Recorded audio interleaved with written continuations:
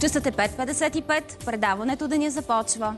Аз съм Христина Христова, всичко по местата си. Да седнат на депутатските си места очакват новите депутати. Утре би трябвало ЦИК да обяви имената им, а ние днес отново ще опитаме да редим политическия пазел у нас. Ето как. Кога ще се завърти рулетката на мандатите? За сроковете, възможностите и ролята на президента ще говорим за това с конституционалистите доцент Наталия Киселова и Борислав Цеков. Не минава и ден, в който в предаването не коментираме нерегламентирани сметища. Април пък се оказа толкова дъждовен, че язовир Камче прилива. За околната среда и водите и за политическата ситуация у нас. Разбира се, в минутите след 8 ще говорим за всички тези теми с министър Емил Димитров. И като казах, политическа ситуация. В патова ситуация ли се оказа БСП? А сега на къде? Колко по-лошо може да стане или напротив, идва и по-добър период за левицата. Анализът отвътре ще направи кметът на Перник Станислав Владимиров, сочен за един от опозиционерите в партията. Днес е Световния ден на здравето и професионален празник на здравния работник. Честит празник на всички медици. Бъдете здрави. Благодарим ви за грижите. Мой гост ще бъде заместник директора на Пирогов, професор Николай Габровски. Така изглеждат нещата в ефира в следващите 3 часа. А онлайн ще очаква вашите отговори, коментари, може би и въпроси към нашите гости в студиото Габриела Гаврилова. Тя ще обобщи всичко това. Ще обобщи и мненията в анкетата ни днес. Традицията повелява, знаете, всеки ден да ви питаме. Въпросът днес е ще се доверите ли на новия парламент? Време е да разберем и с какви новини се събуждаме днес. Румен Йовчев ще ни каже здравей. Добро утро, Христи, и добро утро на нашите зрители. Полицията продължава да разследва убийството, което беше извършено късно с нощи на околовръстния път в София. Подробности след малко в новините. Предстои повторно преброяване на гласовете от парламентарния вод, но едва ли ще има някакви изненади, но така не, че това нещо също трябва да се извърши. Масови протести в редица италиански градове срещу ограничителните мерки. В столицата Рим се стигна и до сблъсъци. Подробностите след малко в новините. А какво в спорта, Иво? Здравей и добро утро! Добро утро! Ти каза, че ще видим кои ще седнат на депутатските кресла в парламента. Любо Пенев обаче вече седна на своя стол на стадион Българска армия и винаги е любопитно, когато той дава пресконференция, особено преди матч с Лудогорец или преди важен матч какъвто е този с Лудогорец за Купата на България в днешния ден. След малко или малко по-късно, по-точно, ще чуем какво имаше да каже Любослав Пенев, какво му направи впечатление на стадион Българска армия. Иначе, интересните... Ремонт трябва там нещо да се прави, не му хареса една вратичка. Ами то на стадион Българска армия не е само тази врата, за която Любо Пенев говореше, трябва да се оправи. Като цяло имаше проект за направа. смисъл, да. да. Като цяло имаше проект за изграждането на нов стадион. За момента е стопиран. Но в Шампионската лига станахме свидетели на изключително красиви и хубави двубой между Реал Мадрид и Ливърпул, както и Манчестър Сити и Борусия Дортмунд. Победи за домакините в двата случая в лицето на Реал Мадрид и Манчестър Сити. Добре, в минутите след 6.30 ще разберем подробностите. А подробностите за времето днес ще ни съобщава Павлета Тредиска. Добро утро. Добро утро. Днес времето ще бъде доста ветровито. Предупреждение от първа степен жълт код за пориви на северо-западния вятър до 80-90 км в час е обявен в почти цялата страна. Освен това ни очаква и по-хладно време, но какви са температурите и какви ще бъдат днес след обед, веднага след новините. Благодаря ти. Така маркираме началото на деня днес. Какво още сме ви подготвили? Останете с нас до 9 и ще видите. Първи сме. След обявяване на окончателните резултати, какво следва според Конституцията? Разговор с доцент Наталия Киселова и доктор Борислав Цеков. Водните казуси и техните решения. И още политическата равносметка на министър Емил Димитров. Минутите след 8. След изборна равносметка, защо БСП получи такъв резултат на изборите? Кметът на Перник Станислав Владимиров. Една година в пандемия, в Деня на здравния работник, за лекарите между грижата за пациентите и системата. Гост професор Николай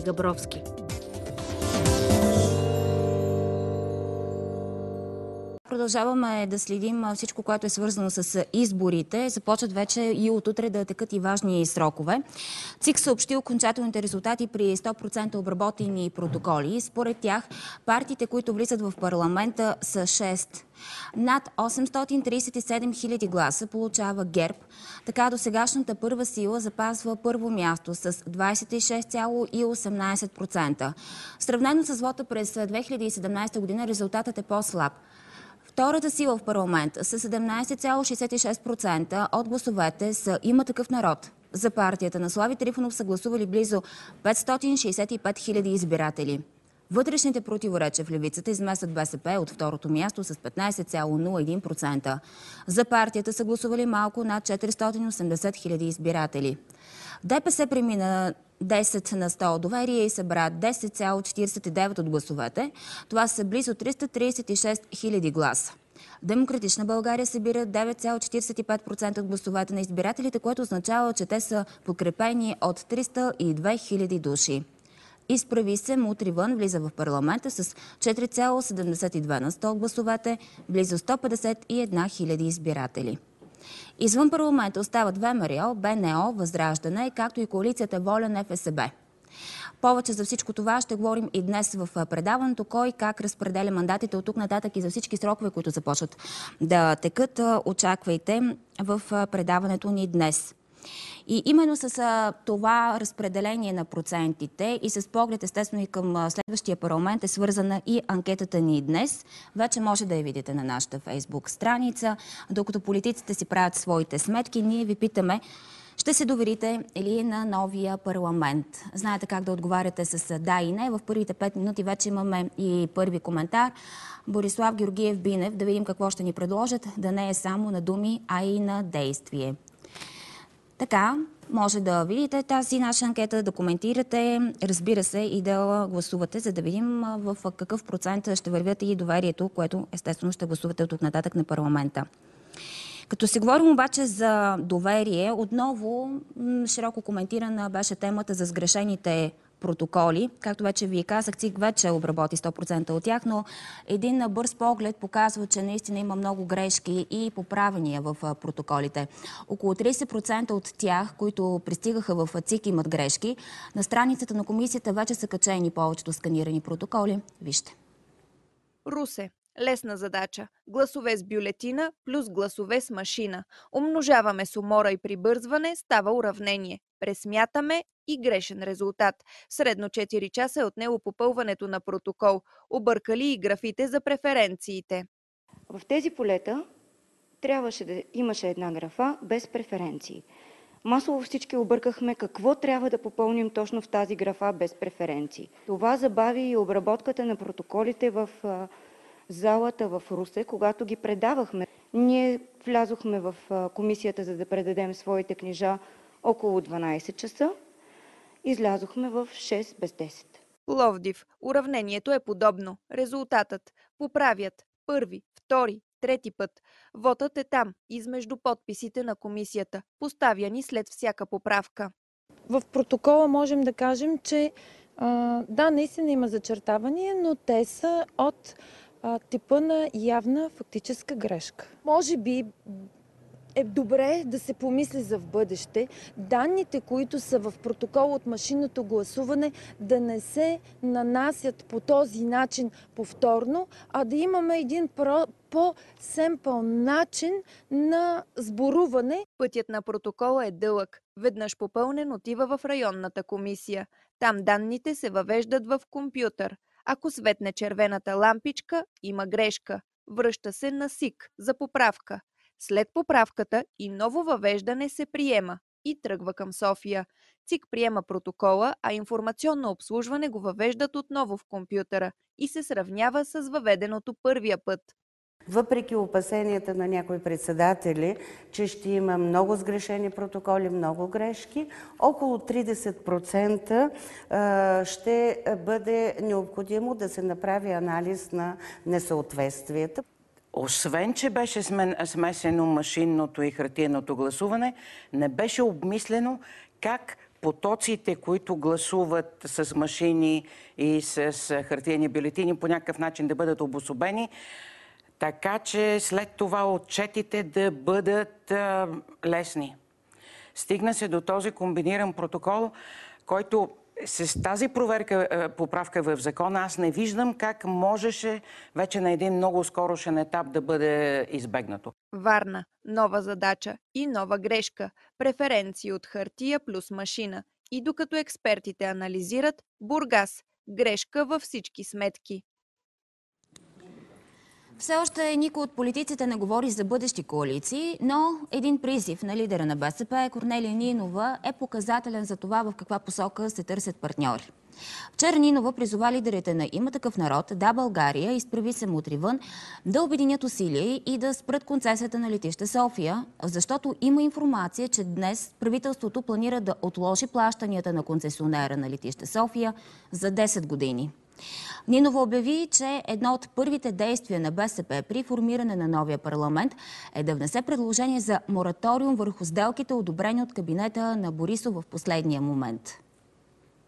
За първ път и официално се обръщам към Има такъв народ, Да България и изправи се мутри вън. Ако препотвърждавате предизборните си ангажименти за промяна на модела, Нека го направим още днес с категорични позиции по тези въпроси и да спрем решението на Министерския съвет утре. Концесията на летище София е огледало на модела на паралелната държава, срещу която ние се борим отдавна, а и тези нови парламентарни партии заявиха преди изборите. Ако БСП наистина иска подкрепа за концесията на летище София, ще трябва да подкрепи създаването на комисия по ревизията, което ще е първото действие на формацията Изправи се мутри вън.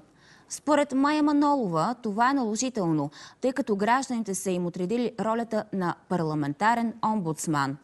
Първото, което ще проверява комисията по ревизията са черните каси на властта. Магистрали, монтажи, ДКК, Държавния ВИК холдинг, Държавната петролна компания, компания, предприятието за управление на язовирите, за да се провери по какъв начин са превъзлагани обществени поръчки и дали е отклоняван обществен ресурс. Също така и концесиите. Освен концесията за летище София, ще проверим и концесиите, които са свързани с добив на подземни богатства. И към останалите теми, за първи път личните лекари получават РНК вакцини. Те трябва да се използват за иммунизация на възрастните и хората с хронични заболявания. В София се раздаваха по общо 32 дози Pfizer и Moderna. Пред здравната инспекция отново имаше опашки от лични лекари. На опашката пред здравната инспекция в София заедно с лекарите се наредиха и възрастни хора, които от месеци чакат РНК вакцини. Чакаме един два месеца за РНК. Не се предлагат. Записали сме се, защото сме на 70 години. Ще ли да дават на личните лекари? Възрастната двойка отида пред Пирогов с надеждата там да получи първата доза, а здравната инспекция в София разпредели между семейните медици 8500 дози Pfizer и 8500 дози Модерна. На всеки лекар се полагат по 4 флакона от двата препарата. Не, до никъде. Колко пациенти имате за Над 200 все още са недостатъчно и това означава, че тук не може да се направи график. Колкото дадат толкова. Личните лекари могат да вземат колкото поискат от препарата на AstraZeneca. Следващата седмица ще получат и още РНК вакцини. Очакваме още много вакцини да дойдат, така че ще се наситят всички кабинети, центрове и ще има за всички. Семейство Халаджови с хронични заболявания, записали се за иммунизация още през февруари. РНК, защото имаме проблеми с здравословни, мъжа ми след инфаркт София и Светослав са първите пациенти на доктор Николова, които получиха първата доза РНК вакцина, час след като флаконите пристигнаха в кабинета й. Чувствам се добре, нямам проблеми за сега. Това е в световен мащаб единственият път, по който може да, да се спасим. РНК ваксините, които получават личните лекари сега, са за иммунизация на хронично болните и хората над 65 години. Аз повечето съм ги вакцинирал и мисля, че трябва да си продължиме по същия начин. Да има зелени коридори и да се вакцинират всички желащи. Аз лично ще вакцинирам само хора, които са с сериозни хронични заболявания, защото те са поставени под висок риск. Повечето лични лекари, които получиха РНК вакцини, казаха, че ще иммунизират пациентите от списъците си утре. Общо практикуващите лекари във Варна и Благоевград още очакват да получат РНК вакцини. След малко в предаването ще проследим ситуацията в Пловдив. Списъци с имената на желаящите да се иммунизират са подадени в регионалните здравни инспекции и лекарите също има такива списъци. Вижте обобщението от вчера. 195 флакона от ваксината на Pfizer BioNTech пристигнаха във Варна. Малка част от тях ще бъдат заделени за хора, на които предстои поставянето на втората доза. Останалото количество ще бъде разпределено между личните лекари и иммунизационните кабинети във Варна и областта. Ще бъдат заделени дози за ревакциниране. От Резе и Варна заявиха, че личните лекари, за които не достигат ваксини, ще получат от следващата пратка на Pfizer, която се очаква след 12 април. Има интерес към ваксините, определено малко повече към РНК ваксините, но за сега нямаме получени такива. Само правим списъци. Получили сме от записани около 400 човека, сме получили 40 вакцини до момента на AstraZeneca. А другите вакцини знаем, че се получават, чуваме по телевизията, но не сме получавали. В Резе и Благоевград са получени 195 флакона от вакцината на Pfizer, 220 на AstraZeneca и 50 на Модерна. Медици твърдят, че има хора, които чакат да се иммунизират единствено с РНК вакцината. Аз не мога да работя от а, телефонни обаждания през деня. Докторе, кога ще дойдат от другите вакцини? Хората изчакват. А, те 500 човека, деца са записани от тях, аз съм направил около стотина дози AstraZeneca, другите чакат другата вакцина. Списъците са ни големи и не се записват всички в другите коридори. Очакват от джипито да ги извика. Според доктор Цветков е възможно някои от иммунизираните с първа доза от вакцината на AstraZeneca да се откажат от поставянето на втората игла. Всеки ден в кабинета Фрезе и Благоевград има зелен коридор, а иммунизацията е с AstraZeneca. Интересът обаче е слаб. Разбрахте за ситуацията с AstraZeneca. Хората продължават да се притесняват на този фон.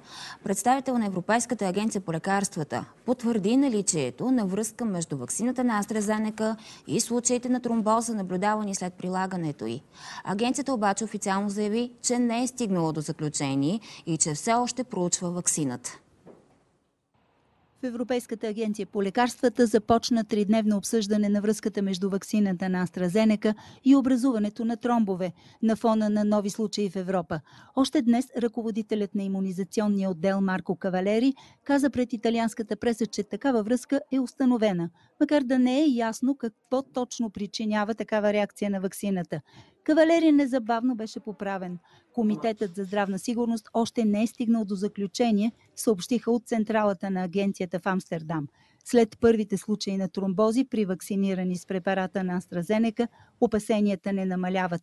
Редица държави, сред които и България, временно прекратиха употребата на вакцината. Експертите очевидно се колебаят, показа изявление от миналия месец.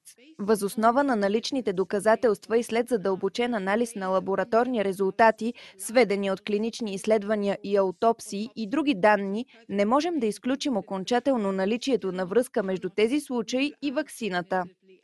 В същото време от агенцията подчертаха, че ползите от вакцината надвишават рисковете и употребата й беше възобновена, макар и с някои ограничения за възрастта. Отново проблем с шофьорските книжки при кандидат-водачите на превозни средства. Курсовете по първа до лекарска помощ, които БЧК провежда, са преустановени до края на април заради COVID-мерките. Автошколи сигнализират, че заповедта на Здравното министерство блокира хиляди курсисти в страната. Подобен е и проблемът с спасителите, които се подготвят за летния туристически сезон. Лошото е, че в момента почти никъде не може да си намерите работа, ако не притежавате шофьорска книжка. Това е трето затваряне на курсовете на БЧК по време на пандемията. Александър е един от курсистите в столична школа, които успяват да се възползват от краткия прозорец между въвеждането на по-строгите мерки. БЧК-та го изкарах преди да запиша курсовете, понеже предишния път пак беше така с а, затварянето на БЧК. Други обаче ще трябва да изчакат, въпреки че са покрили изпитите по кормуване и теория. Имаме ни приятел, да, той си изкарал часовете и теорията, само трябва да ходи пред дайен изпит. И трябва да чака БЧК-то за да може да си изкара книжката. Много хора са записали този курс, защото са си на шофьорски, защото са си намерили работа. И в момента не могат да започнат, защото не могат път да си извадят шофьорската книжка. Говорим за десетки хиляди. Курсовете са спрени и при водните спасители. Подготовката за сезона започва още през февруари. До момента в Бурга са записани 36 човека, които чакат. Ще създадем такава организация май и юни, в началото на юни, до 15 юни да завършат всички тези, които проявяват желание и интерес. Ще имаме намерението за, за втора поредна година да извършим подготовка на водни, кандидати за водни спасители на море, директно на плажа. От БЧК заявиха, че изпълняват заповед на Здравното министерство. Очевидно е, че всеки бързо иска да си свърши бързо работата. Български червен кръст не бави а, умишлено и не е в наша полза. Не забравяйте, че а, все пак ние се намираме все още в а, третата вълна. Смятам, че е, лекарите, които са наши преподаватели, които бяха свръхнатоварани в лечебните заведения, естествено е, е те също да имат възможността да се концентрират върху основната си дейност. В условия на затегнати COVID мерки, курсистите ще могат да се подготвят онлайн на сайта на БЧК, където е разработена електронна платформа, която покрива теорията. След успешно положен тест остават само практическите занимания, които са между 3 или 4 часа не очаквам да имаме голямо а, струпване и а, невъзможност да откликнем на нуждите, които ще се съберат а, в периода, който предстои. От БЧК заявиха, че са изпратили молба до Здравното министерство да възстановят курсовете по-рано от предвиденото, като предлагат това да стане след 11 април. Април продължава да бъде доста разнообразен от към температури и задоволява всякакви вкусове и изисквания. Та какви ще бъдат температурите днес, ще коментираме сега с Павлета Терзийска. Здравей отново! Добро утро! Да, доста променливо време е тези дни в страната ту топло, ту студено. Ето така, например, сега ще видим вчера в Велико Търново и Русе 20 градуса, Силистра 19, в столицата 16, докато по морето остана доста по-хладно, едва около 10-11 градуса, където вятъра и през вчерашния ден беше от към, от към водата, от към морето. Днес обаче предстои промяна. След затоплянето вчера, днес много силен северо-западен вятър и рязко застудяване. През деня ще бъде по-хладно от едва 6 градуса по високите полета на Западна България до 16-18 в югоисточна. По морския бряг ще духа умерен до силен югозападен вятър. След обяд ще отслабне и ще се ориентира също от запад-северозапад, но южният вятър през по-голямата част от деня именно ще бъде и причина температурите там да достигат между 14 и 18 градуса. В следобедните часове обаче виждате и там дъжда няма да ги подмине. По-значителни ще са количествата по южното крайбрежие. На места също така и ще прегърми. Но има и предупреждение. Ти с това е започна днешното предаване. Да, точно така. Предупреждение от първа степен, код жълто за много силен северо-западен вятър с пориви до 80-90 км в час е обявено днес почти цялата страна. Както вече споменах, ще има и валежи от дъжд, по-значителни, именно в югоисточните райони. Предупреждение за нови около 20-30 литра на квадратен метър е в сила в област Бургас а с понижението на температурите на места в северна и западна България дъждът ще се примесва и с сняг. Но хората, които сега ни гледат, задават един основен въпрос, защото не всички градове могат да ги видят и на, нашата, на нашия екран. Какви са температурите на Павлета в момента? Да, температурите към момента са следните. Най-топло е по морето, за разлика от вчера. Ето тук искам да кажа точно за тази промяна.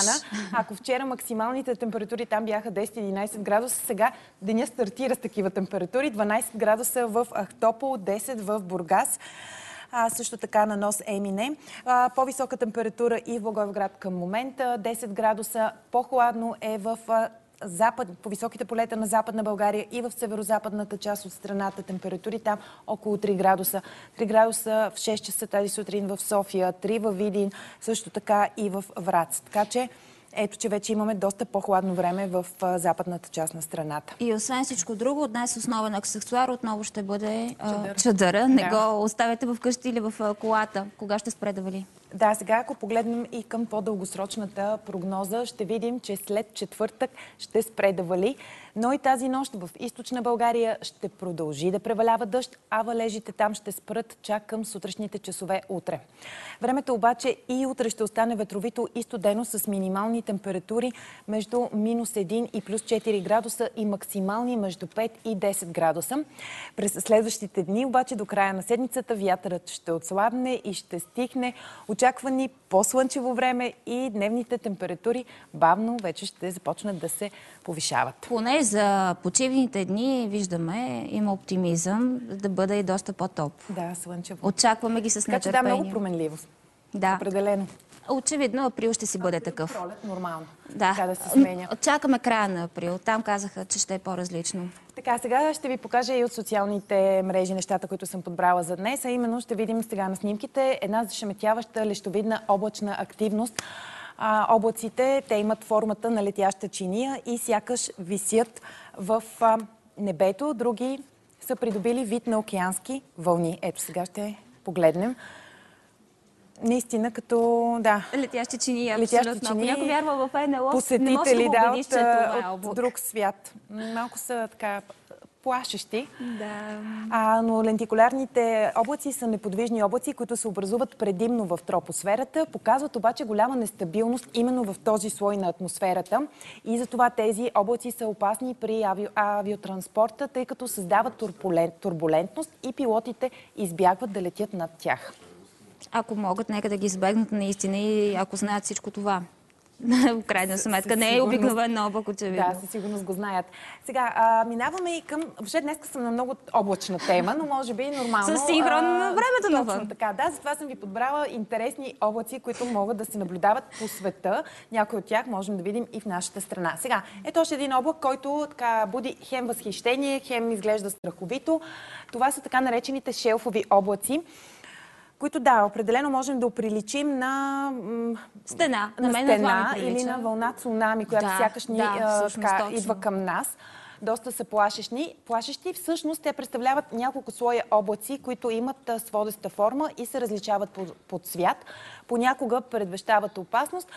Ако видите такъв облак, трябва да знаете, че самият той обаче е напълно безвреден, но това е сигнал, че трябва да се скриете някъде преди бурята да удари. И да, те също така са свързани с много силни грамотевични бури.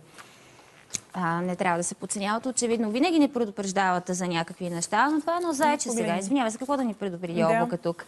И за финал съм ви подготвила един а, облачен заек, така да го, така да го нарека. Великденски. Великденски заек, да, той е точно на 4 април, когато беше сега католическият Великден. А, за- заека е популярен символ в католическия свят. Децата вярват, че ако бъдат послушни, Великденският заек ще им остави гнездо с шарени яйца. Обаче не е много ясно откъде тръгва тази традиция с Великденския заек. Според една от версиите, това поверие произлиза от немска легенда, според която заекът някога е бил голяма, красива птица, принадлежаща на една богиня.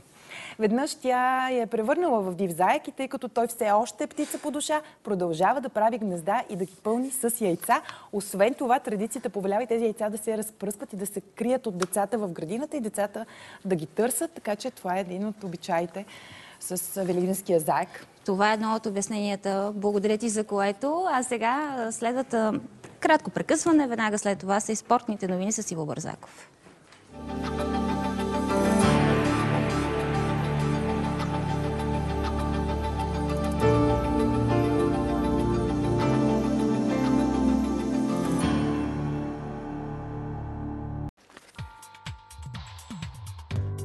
След обявяване на окончателните резултати, какво следва според Конституцията?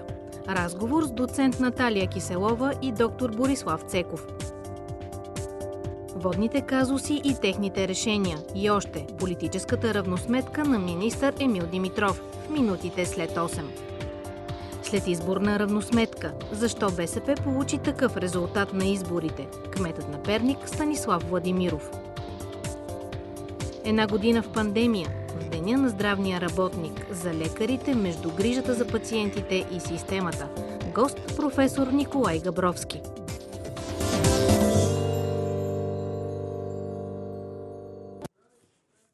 Време е вече да погледнем и към социалните мрежи, преди всичко обаче към нашата анкета на фейсбук страницата.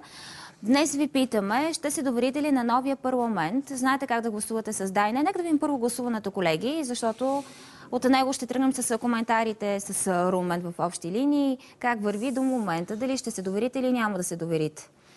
А... Е, паритет, може да се каже. Да. Макар и минимално, минимално така в, с един глас негативно повече. Поне. Моля ви само да гласувате с нещата, с които сме ви посочили, за да може по-лесно да се ориентираме веднага в гласовете. Сега имаше и навъсено човече, и плачещо, и какво ли не. Все едно виждаме, че наистина нещата... Е, коментарите са отражение на това, което се случва и на изборите, в крайна сметка. Нека да видим коментарите. Предлагам ти това. Това са хората, които гласуват. Да, Мариан Тодоров. Задачите на новия парламент са поправка на изборния кодекс, електронно гласуване, подпомагане на домакинствата в пандемията, разформироване на националния оперативен щаб и търсене на наказателна отговорност. С тези задачи ще се справят до ноември, а тогава избори две в едно. Това предлага той. Новия парламент не се вижда, пише Боби Николкин. Ще има нови избори, за които ще бъдат похарчени отново огромни средства в тази посок. Някои ще се доверят, обаче все пак, може би, с някакъв строк на годност, както се казва. Георги Георгиев. Няма как да се доверим на нещо, което все още не е сформирано. Много зависи от структурата му. Прав е господин Георгиев. Ние по-скоро обаче се ориентираме в политическите послания и в заявките до момента, и в предизборната кампания и вече два дни след като станаха ясни резултатите. Та за това, ако вярваме на всичко това, което чуваме, е ясно горе-долу какъв парламент би трябвало и какво правителство би трябвало да има. А, Милен Милчев, нека да видим дали всичко, което говорят, не е само на приказка, дали ще имат воля за промяна. Жоро Илич Джунов, мисля, че тук ще отговорих на този въпрос. От БНТ не мислите ли, че е твърде рано а, за такъв въпрос, за коалиции и прочее? Тук що това казах, че все пак а, идеята ни беше именно да да видим вашата, вашето мнение в вече заявените позиции, поне до момента. Александър Методиев зависи кой ще се коалира и така нататък. Да, всякакви коментари. В крайна сметка социалните мрежи са за това всеки да изрази своето мнение. Точно така. Но най-добре се изразява тук по време на избори. Абсолютен факт. И това е нещата, които чуваме и в момента от а, политическите партии. Така са ни наредили избирателите. А, как беше? Глас народен, глас Божи. Така е, Точка. да. Сега към нашия сайт. Да към нашия сайт, защото а, Александър Марков обобщава важни въпроси, кога ще има ново правителство.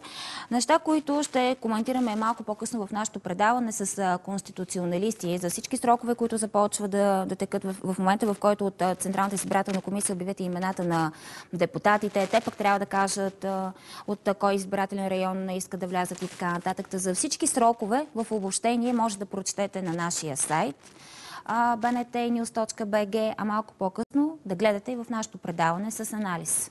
Със сигурност ще научите доста интересни неща точно от този репортаж на Александър Марков, така че препоръчвам го на нашите зрители. Ще, ще го покажем и ние след малко в ефира. Ако не сте го гледали, ще ви го покажем и след малко. И сега към социалните мрежи, веднага към забелязано в Пловдив, ако не се лъжат, беше тази публикация на Русица Хаджиева. Да. Това нежно кратерче се намира на светофара на Карловско посока центъра, непосредствено преди Карловския надлез. Е това, как никой не го забелязва до момента и някой ще направи беля, може да коства живота. Аз често минавам, между другото, по този път, затова и тази публикация веднага ме впечатли съответно ще внимавам, когато, да, когато минавам от там. Явно е отскоро това нежно кратерче. Най-хубавото на такива публикации поне за мен, така като човек, който също ги следи, както и ти, винаги по такъв пост следват допълнителни такива, които поясняват. То, това нищо не е. Вижте, еди коя си улица. И ти така неволно се осъдомяваш къде, другаде, къде на друго място в града има Откъде да не минаваш, така, ако може. Искам само да отбележа, освен, че разбира се, тук има доста такива интересни коментари. коментарът на Иво Цветков това, ако падна в него, ще изляза в Китай директно на пазара в Ухан. Ами да, ние видяхме отдолу а, а, старата настилка от паважа се е показала, така че... Е, отворила се, действително, но действително трябва да се вземат мерки, защото дупката е много опасна. А, това кръстовище е много оживено и понякога, тъй като има така дълъг, дълга отсечка, човек се засилва, за да успее да хване зеления светофар и наистина много опасно. То, това кратерче, нали, както, и да се, както и да го погледнем, дори да се шегуваме, дори сериозно да, така, хубаво е всъщност сериозно да погледнем на, на тези а, проблеми по пътищата. Да, както пишеше и автора, как някой не го е забелязал, със сигурност някой шофьор вече го е забелязал и даже усетил, според мен. Ако не го знаеш, не го заобикаляш. Не, ако не го знаеш, няма как да не се... Спокойно ще се влезеш в тази дупка и ще може да предизвикаш и пътната на Както виждаме, така поне се ориентирам, това е в средна лента, така че пък съвсем Да. е и опасно. Добре, с а, следващите неща нека да продължим. А, отново в забелязано Отново в Пловдив. забелязано в Пловдив. Много са активни повишани в социалните мрежи. А, скоро засадени дръвчета пред община Тракия. Намери се някой да ги унищожи. Така, виждаме наистина Много тук... тъжно. Много тъжно. Как е възможно? Някой е положил а, усилия и друг просто виждате какво се е случило. А, Под снимките има така доста а, негативни коментари отново. Обвиняват някои дори едва ли не майките с децата, които наблизо се разхождали с тях в парка. Не вярвам, деца, не да. вярвам някоя майка да, да остави така дете, ако го види, че по такъв начин действа спрямо природата. И на мен ми се иска да не вярвам, но още е по-тъжно наистина да виждаме подобни неща. В седмицата на гората, както си коментирахме и вчера, когато пък имаме много инициативи за залесяване, в междублоковите пространства определено има нужда от такива. Винаги има нужда. Хубаво е да се засаждат повече а, дървета. Но ето тези няма да ги бъде. Може би има време все още за други да бъдат посадени и да бъдат опазени. А, сега, тук отново, пак сме в Пловдив, новите зелени зони. Утре всичко ще е от Стара Загора и София. Добре, окей, няма проблем. А, новите зелени зони, тук с, отново с едно така, общо намигване Да. за зелени зони. Разбира се, това не е зелена зона, това е тротуар. Отново оживе- оживено кръстовище в Пловдив.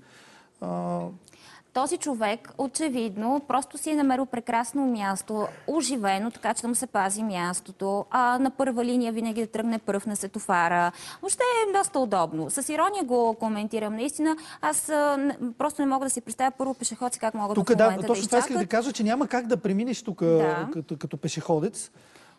Вечното оправдание, което би имал, вероятно, шофьор на е този спрял за една минута. Много за бързо. Да. Нямаше къде, много бързах. Но а, вече мисля, че никого не трогва на такова обяснение. Нямаше много коментари по тази публикация. Единствено така, отново Без с... коментар. То За турбото може. Имаше За турбото може. Може, Нали? може. Ми не, не може. Ако да полицията са били на място, може би ще Дано да, да са не са. санкционирали, защото това си от всякъде си е за санкция. А, Образцов кабинет в а, болница Ангелова, Р- Архил Ангелова. Може би. Да.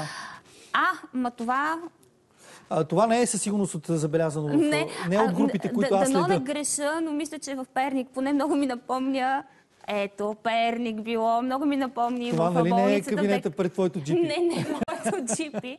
Но вижте за какво става въпрос. Просто веднага ми изникна в съзнанието, че съм го виждала от някъде. А, да се вижда кога е затворено, кога е отворено, в четвърта какво се случва. А, с а, точна информация на, кой е в този кабинет. А, пък а, с телефони. А, да не говорим за украсата. Някой е останал там от коледната украса, малко от а, Е, сега то не остана март. до следващата нова година. За какво да се сваля тази коледна Но украса? няма смисъл, разбира се, да. Но е хубаво така, както се казва, и слепите да го видят, а не да се задават излишни въпроси. Създава настроение. Сега Да, не да. можем да го отречем. а Създава настроение на... Кой беше? Доктор Чунов. Травматолог, ортопед. Може би е така... Аз а, не, не го познавам. Добър лекар. Поздрави от нашия ефир, особено пък в Специално днешния след като ден. така ни развесели наистина. Да. Днешния ден ни дава повод да го поздравим и с а, празника на здравния Имаше работник. коментар, че Херезада е вътре. Хайде сега с паркиране отново, да Отново се занимаваме. паркиране, това обаче предполагам, че Така. Габи, Диляна Василева, че съм ангел, ангел съм, но предпочитам да си крия крилата. Наложи ми се да си ги ползвам. със сигурност- Трябва да прелетиш над колата. Няма как да преминеш иначе. Прелетяваш. А, или излизаш на пътя и решаваш, че а, някой друг ще те види, ще те опази на шосето и така нататък. А, преди малко видяхме подобна публикация и в Пловдив, така че Същата за турбото може. ситуацията.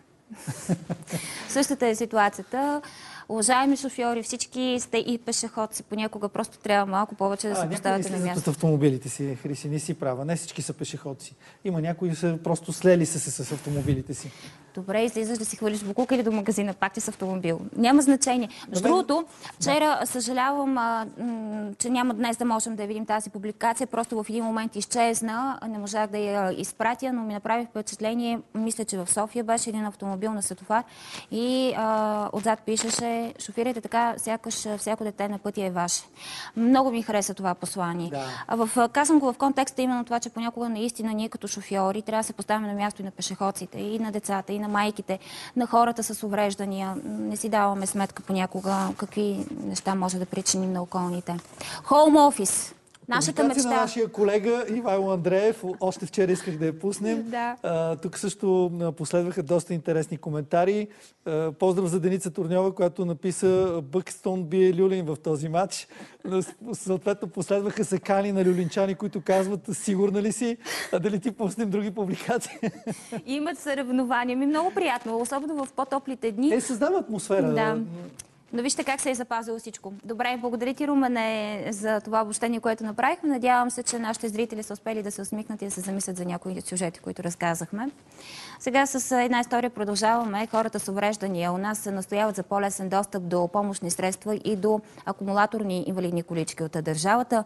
Въпреки, че са освидетелствани и от ТЕЛК и отговарят на всички изисквания, някои от тях са принудени да си ги купуват сами. Парите отпуснати за поддръжка и ремонт също не достигат. Затова мъж с увреждания от Варненското село Калиманци намира начин да помага. Как? Вижте в репортажа на Петя Иванова и оператора Георги Христов. Преди 25 години Валентин Великов останал инвалид след тежка катастрофа. През годините се сблъсквал с много трудности при ремонта на акумулаторната си количка.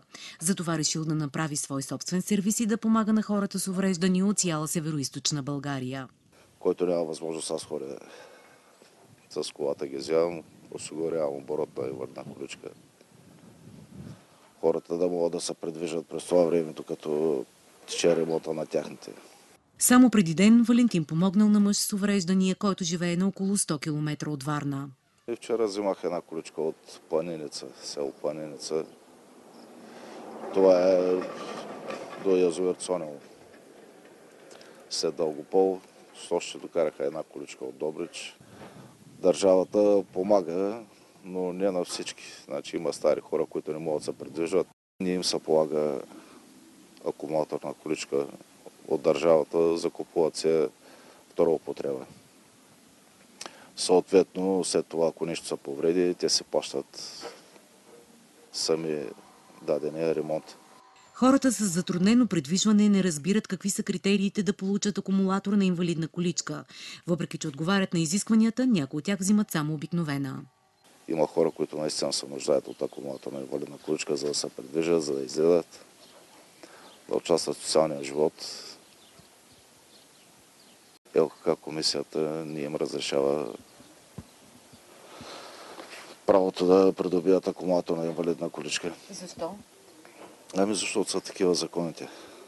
Значи другата, другия парадокс е, когато имаш ти даде държавата акумулаторна инвалидна количка, нямаш право на рингова количка.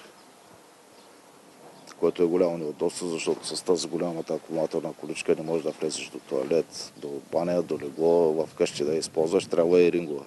Хората с увреждания недоволстват още, че инвалидните колички се повреждат често, а парите за ремонт, които държавата отпуска са малко.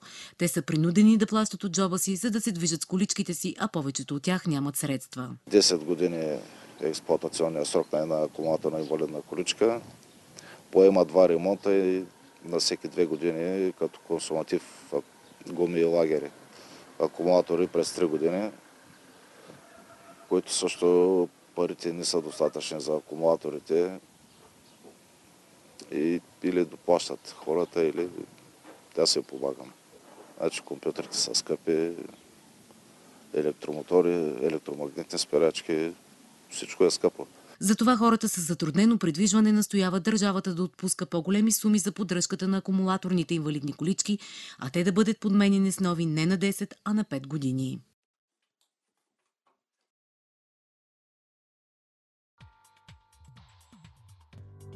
След обявяване на окончателните резултати, какво следва според Конституцията? Разговор с доцент Наталия Киселова и доктор Борислав Цеков. Водните казуси и техните решения. И още политическата равносметка на министър Емил Димитров. Минутите след 8. След изборна равносметка. Защо БСП получи такъв резултат на изборите? Кметът на Перник Станислав Владимиров. Една година в пандемия. В Деня на здравния работник. За лекарите между грижата за пациентите и системата. Гост професор Николай Габровски.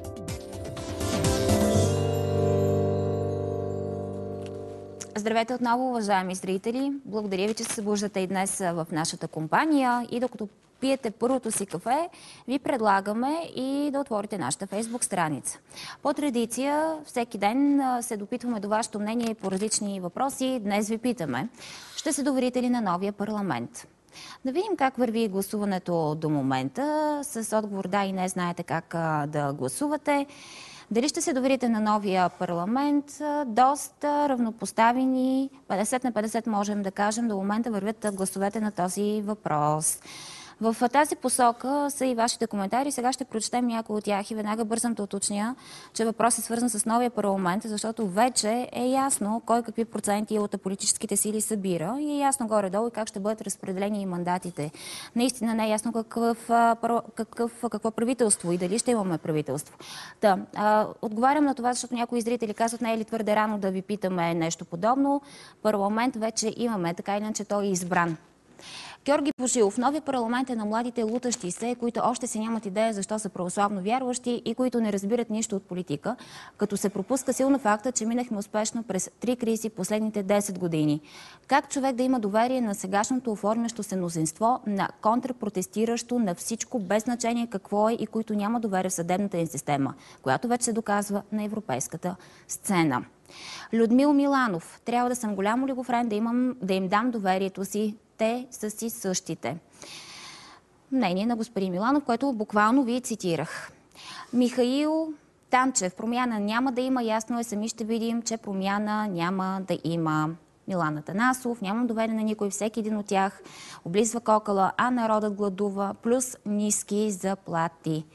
Много от политическите партии в програмите си бяха заложили именно социалната политика и на увеличаване на доходите на гражданите, така че ще видим дали тези предизборни обещания ще се изпълнят те първа. Малин Грозданов, никой не се готви да прави каквото и да е, само търсене на отговорност. Добро утро, пише Атанас Атанасов. Парламент няма да има, а ако има, то ще е някаква пародия парламента е избран. Както вече казахме, утре даже Централната избирателна комисия би трябвало да обяви имената на новите депутати. След това някои от тях, които са избрани на повече от едно място и са били водачи, трябва да кажат от район, кой район ще влязат. Тоест в общи линии в следващите дни пъзела се нарежда. Та именно за това сега ще ви покажем и един репортаж обобщение на Александър Марков, за който говорихме и в социалните мрежи. По Конституция най-късно до 4 май новоизбрания парламент трябва да се събере на първо заседание. На него правителството на Бойко Борисов трябва да подаде оставка, след което президентът Румен Радев ще даде начало на процедурата за съставяне на ново правителство. Приключат консултациите, започва така наречената парламентарна рулетка. След края на тези консултации президентът възлага проучвателен мандат на лице, посочено от най-голямата по численост парламентарна група в парламента, който проучвателен мандат е 7 дневен. Ако до 7 дни кандидата представи структура и състав на кабинета и парламента го одобри с две гласувания с обикновено мнозинство, има избрано правителство. Ако ли не, държавния глава връчва мандат на втората по големина парламентарна група. Срока отново е 7 дни. При неуспех връчва мандат на трета парламентарна група. При третият опит президента вече има право на преценка. Може да възложи на третата по численост, може да възложи и на последната по численост, и на най-малката парламентарна група. Между връчванията на мандати президента не е обвързан с срокове от Конституцията. Президентът може да прави, между другото, между връчваните така, мандат и може да прави допълнителни консултации. Това не може да, да, така, да, да му бъде отказано, но може да ускори, може и леко да забави процедурата. Разбира се, в рамките на разумното. Ако и третия опит за съставяне на кабинет се провали, президента разпуска парламента. Очевидно парламента не е в състояние да излъчи парламентарно правителство. И затова този парламент си е предрешил политическата съдба. Президентът с указ разпуска Народното събрание, насрочва в двумесечен срок нова дата за предсрочни избори и назначава служебно правителство. Въпреки липсата на срокове в Конституцията, президента не може да бави процедурата. Президента няма интерес да бави процедурата. Върват ни такива е, идеи, по-скоро слухове, че президент едва ли не желае да разточи така процедурата, че да го докара до октомври-ноември месец, когато ще, бъдат, когато ще бъдат изборите за следващ мандат на президент. Тоест, е, президентските избори, е, това са повече от 6 месеца. Това е абсурдно да се отиде към този вариант. И ако някой съветва президента в тая посока, много жестоко го подвежда. Този номер няма да мине. Конституцията дава гаранции и срещу забавяне на процедурата от страна на самите партии, ако откажат или забавят приемането на мандата. И за президента пред вас, медиите, и казва, покани ги, не излъчиха лице, което да приеме мандата. Смятам, че е завършил без успех на седмия ден мандата, връчвам на следващата парламентарна група и това е. Кога ще бъде свикан новия парламент, предстои да разберем. Малко по-късно ще коментираме още по тази тема с конституционалисти в нашето студио за всички срокове, какво от тук нататък, какъв първо момент ще имаме и какво правителство евентуално. А сега към тема, която ви анонсирах и в началото на предаването и видяхте репортаж. Сега ще видим актуалната информация от днес сутринта. Джипита и граждани в Пловдив искат от регионалната здравна инспекция по-голям обем от РНК вакцините. Само в кабинетите на здравната инспекция вчера се извършваха иммунизации с препаратите на Pfizer и Moderna. А личните лекари останаха изненадани, че за тях не са стигнали количества. Могат ли в тази ситуация джипитата да се включат пълноценно в четвъртата фаза на вакцинацията? Въпросът ми е към Димитър Димитров. Той сега е на пряката ни линия. Добро утро.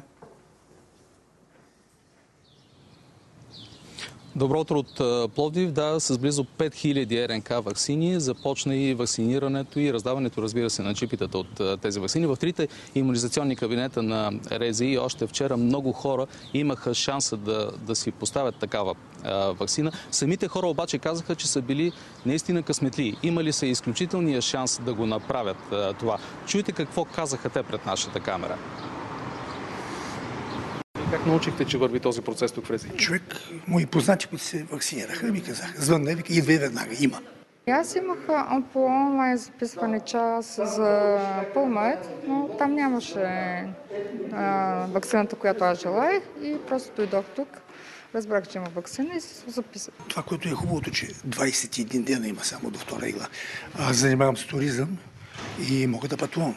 Ако чакам два месеца, много нелогично. Напрежението, което беше след опашките и така минаването, дали ще има вакцини или не, да, се чувствам добре. Джипитата от вчера също получават вакцини. Правилото тук в Пловди според изискванията на здравните власти е всяко едно от джипитата да получи не повече от два флакона от тези вакцини. Тази сутрин разговаряме с доктор Георги Бъндев, общо практикуващ лекар, който вчера е бил на опашката. Доктор Бъндев, вие с колко флакона успяхте да се здобиете? Ами, само с един флакон от РНК вакцината. Е, и от AstraZeneca казаха, че няма проблеми за взимането неограничено количество. Но проблема е с е, РНК вакцината, тъй като е, в момента повечето от неимунизираните пациенти предпочитат е, именно тази вакцина и, поради тази причина се насочихме към нея. Но малко е странно, че с уж имаше обявен график. Получихме съобщение по съобщение, че вчерашния ден ще бъде за, конкретно за район Централен и за, нали, че трябва да се явим там за получаване на РНК вакцина. Но като отидахме, се оказа, че то всъщност не е само за нас и за община Асеновград. Така или иначе, чакахме известно време, ние, които сме от Пловдив. Казаха ни в момента не може, тъй като се предава на на община... Не, не, в смисъл, че дават съответните вакцини на община Асеноград и тези, които са дошли от Асеноград. Реално е станала конкуренция между лични лекари, за да получите вие флакони с РНК вакцините. Защо само един за вас, при условие, че е трябвало да получите два? Ами, това е решение на местната рези, местното рези. Сега, аз доколкото разбрах, колеги от София са получили по два флакона от Pfizer и два флакона от Модерна. И количествата тук са по-малки, само около 5000 флакона са осигурени за първа игла. Ами, интересното е, че вакцинационни центрове взимат доста по-големи количества и за тях няма чак такива големи ограничения. Сега точният им размер на тези флакони, които взимат, не мога да кажа, но факт е, че те е, дори без график си влизат и е, взимат по-големи количества. А вие имате ли много пациенти в е, вашата листа записани, така че които искат да се вакцинират и трябва да осигурите такава вакцина за тях? Ами, проблема е, че повечето от пациентите по една или друга причина се насочват към тези РНК вакцини те се дават доста по-ограничено. Търсят ли ги и на други места, не само при вас? Ами, тъй като по една или друга причина, поради ето тези логистични проблеми, чакане, трудности при взимането и така или иначе не можем да им ги осигурим и много по-лесно на практика ги получават вакцинационните центрове. И поради тази причина много от моите пациенти отидаха и чакаха на, е, на такива вакцинационни центрове и, няко... и доста от тях се иммунизираха там. Вие в момента от какви вакцини имате нужда и колко? Е, е, не може да се каже точно, тъй като нещата са доста динамични. Ето, например, вчера съм провел към 30-40 разговора, за да може да да се информирам кой е направил, кой не е направил, тъй като те дори да са записани при нас в списъка, да кажем, за подлежащи, някои от тях по една или друга причина отиват и чакат на, на опашка за, за примерно за тази РНК вакцина в определени вакцинационни центрове. Благодаря ви, доктор Георги Бъндев, още практикуващ лекар в Пловдив. Трябва да кажем, че и днес процеса на вакцинация продължава в три кабинета в регионалната здравна инспекция, но реално включването на джипитата пълноценно в този процес може би ще стане следващата седмица, когато ще дойдат и допълнителни количества от РК вакцините. Благодаря ти, Митко. Ще коментираме това и днес в предаването с заместник директора на Пирогов, професор Николай Габровски. Дали пък личните лекари не трябва да бъдат и по-натоварени вече и да се премахнат така наречените зелени коридори. Неговото мнение очакайте по-късно в предаването. Сега кратко прекъсване за реклама, а след това ще си говорим за процесите в БСП.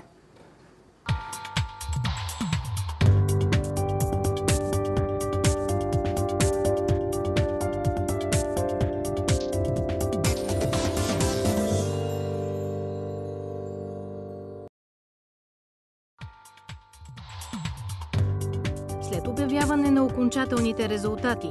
Какво следва според Конституцията? Разговор с доцент Наталия Киселова и доктор Борислав Цеков. Водните казуси и техните решения. И още политическата равносметка на министър Емил Димитров. Минутите след 8. След изборна равносметка. Защо БСП получи такъв резултат на изборите? Кметът на Перник Станислав Владимиров. Една година в пандемия. Деня на здравния работник за лекарите между грижата за пациентите и системата. Гост професор Николай Габровски.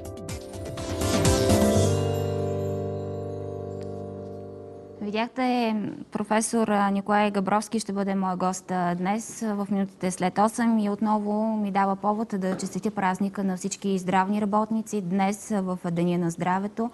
Благодарим ви за грижите. Дано повече хора оценяват и жертвите, които правите в тази една година, а и не само. За това обаче, малко по-късно в предаването, сега отваряме политическата тема. Какво се случи на тези избори с БСП? Кой е виновен за този изборен резултат и какво тук нататък? Анализът в студиото ще бъде на кмета на Перник, Станислав Владимиров. Добро утро, здравейте. Добро утро. Сочен сте за един от опонентите на Корнелия Нинова. Та сега вече след изборите, какво бихте казали за тези резултати? И кой е виновен? Опонент не знам, но от един от хората, който има коража и смелостта да има различно мнение от това на ръководството. Помните тук, мисля, че във вашето студио беше при няколко месеца, аз направих прогноза, че ние ще катастрофираме на тези избори. За съжаление се оказах прав. Получих доста укори за пореден път от мои партийни другари, че тази прогноза е много тежка, че не бива да се прави преди изборите. Но когато си заревеш главата в пясъка, когато слагаш едни розови очила, когато се откъсваш от реалния свят, обикновено резултатите са такива каквито са. Много тежка загуба, много тежък момент за нашата партия, много тежък момент и за България, защото БСП и хубава и лоша системна партия. БСП и в добро и лошо е преди всичко защитава интересите на нашата страна, колкото и странно да звучи на някои хора. В това си насипно състояние в момента има риск ние наистина да освободим един терен в лявото политическо пространство и там да нахуват политически караконджули, да нахуват популисти, антисистемни играчи, които в стремежа си да наистина да влязат във властта, ще говорят едни много красиви, хубави приказки на избирателите. И тогава не ми се мисли наистина какво предстои пред България, защото виждате, че и в мина неделята а, а, младите хора, особено активното поколение, изляза и наказа статуквото. Това е резултат от тези избори.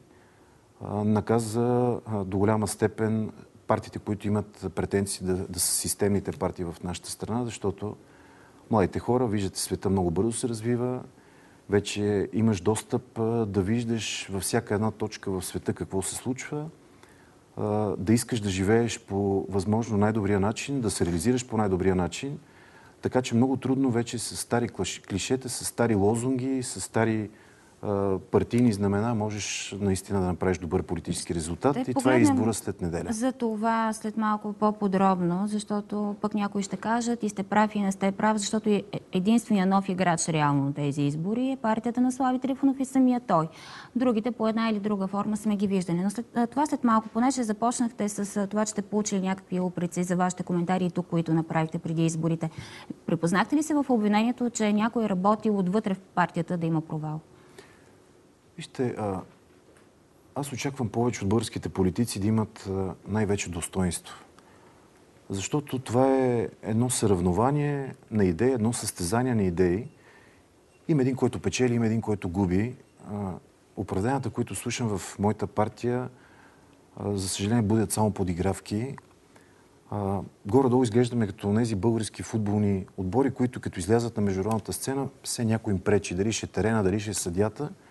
И като се приберем тук на родна земя, ние пак заряваме главата в пясъка си и казваме продължаваме напред. Само, че не виждаме причините поради, поради тези... Кои са причините според вас? Избройте ги вашите Ми... причини. Аз ги изборих далеч преди изборите, с надеждата, че в това ръководство ще има мъдрост, в това, това ръководство ще осъзнае а, начало на каква партия е, на каква сложна партия е, на какъв сложен механизъм тези хора са за съжаление, случайно попаднали там. Но ето, бюрото не можеш, подава оставка. Не можеш а, да стоиш в опозиция вече толкова дълги години, да имаш претенциите да си истинската опозиция, да имаш достатъчното време наистина да направиш така да се позиционираш. Видяхте лятото, огромна енергия срещу, а, срещу управляващите. Ние изчезнахме. Нас ни нямаше, не можахме да усетиме тези потребности, тези нови искания на всички от тези, които излязоха на улицата, а ние се затворихме в себе си. Започна една вътрешно-партийна саморазправа, много така а, а, лошо облечена зад някакви грандиозни реформи, които прави ръководителя на нашата партия.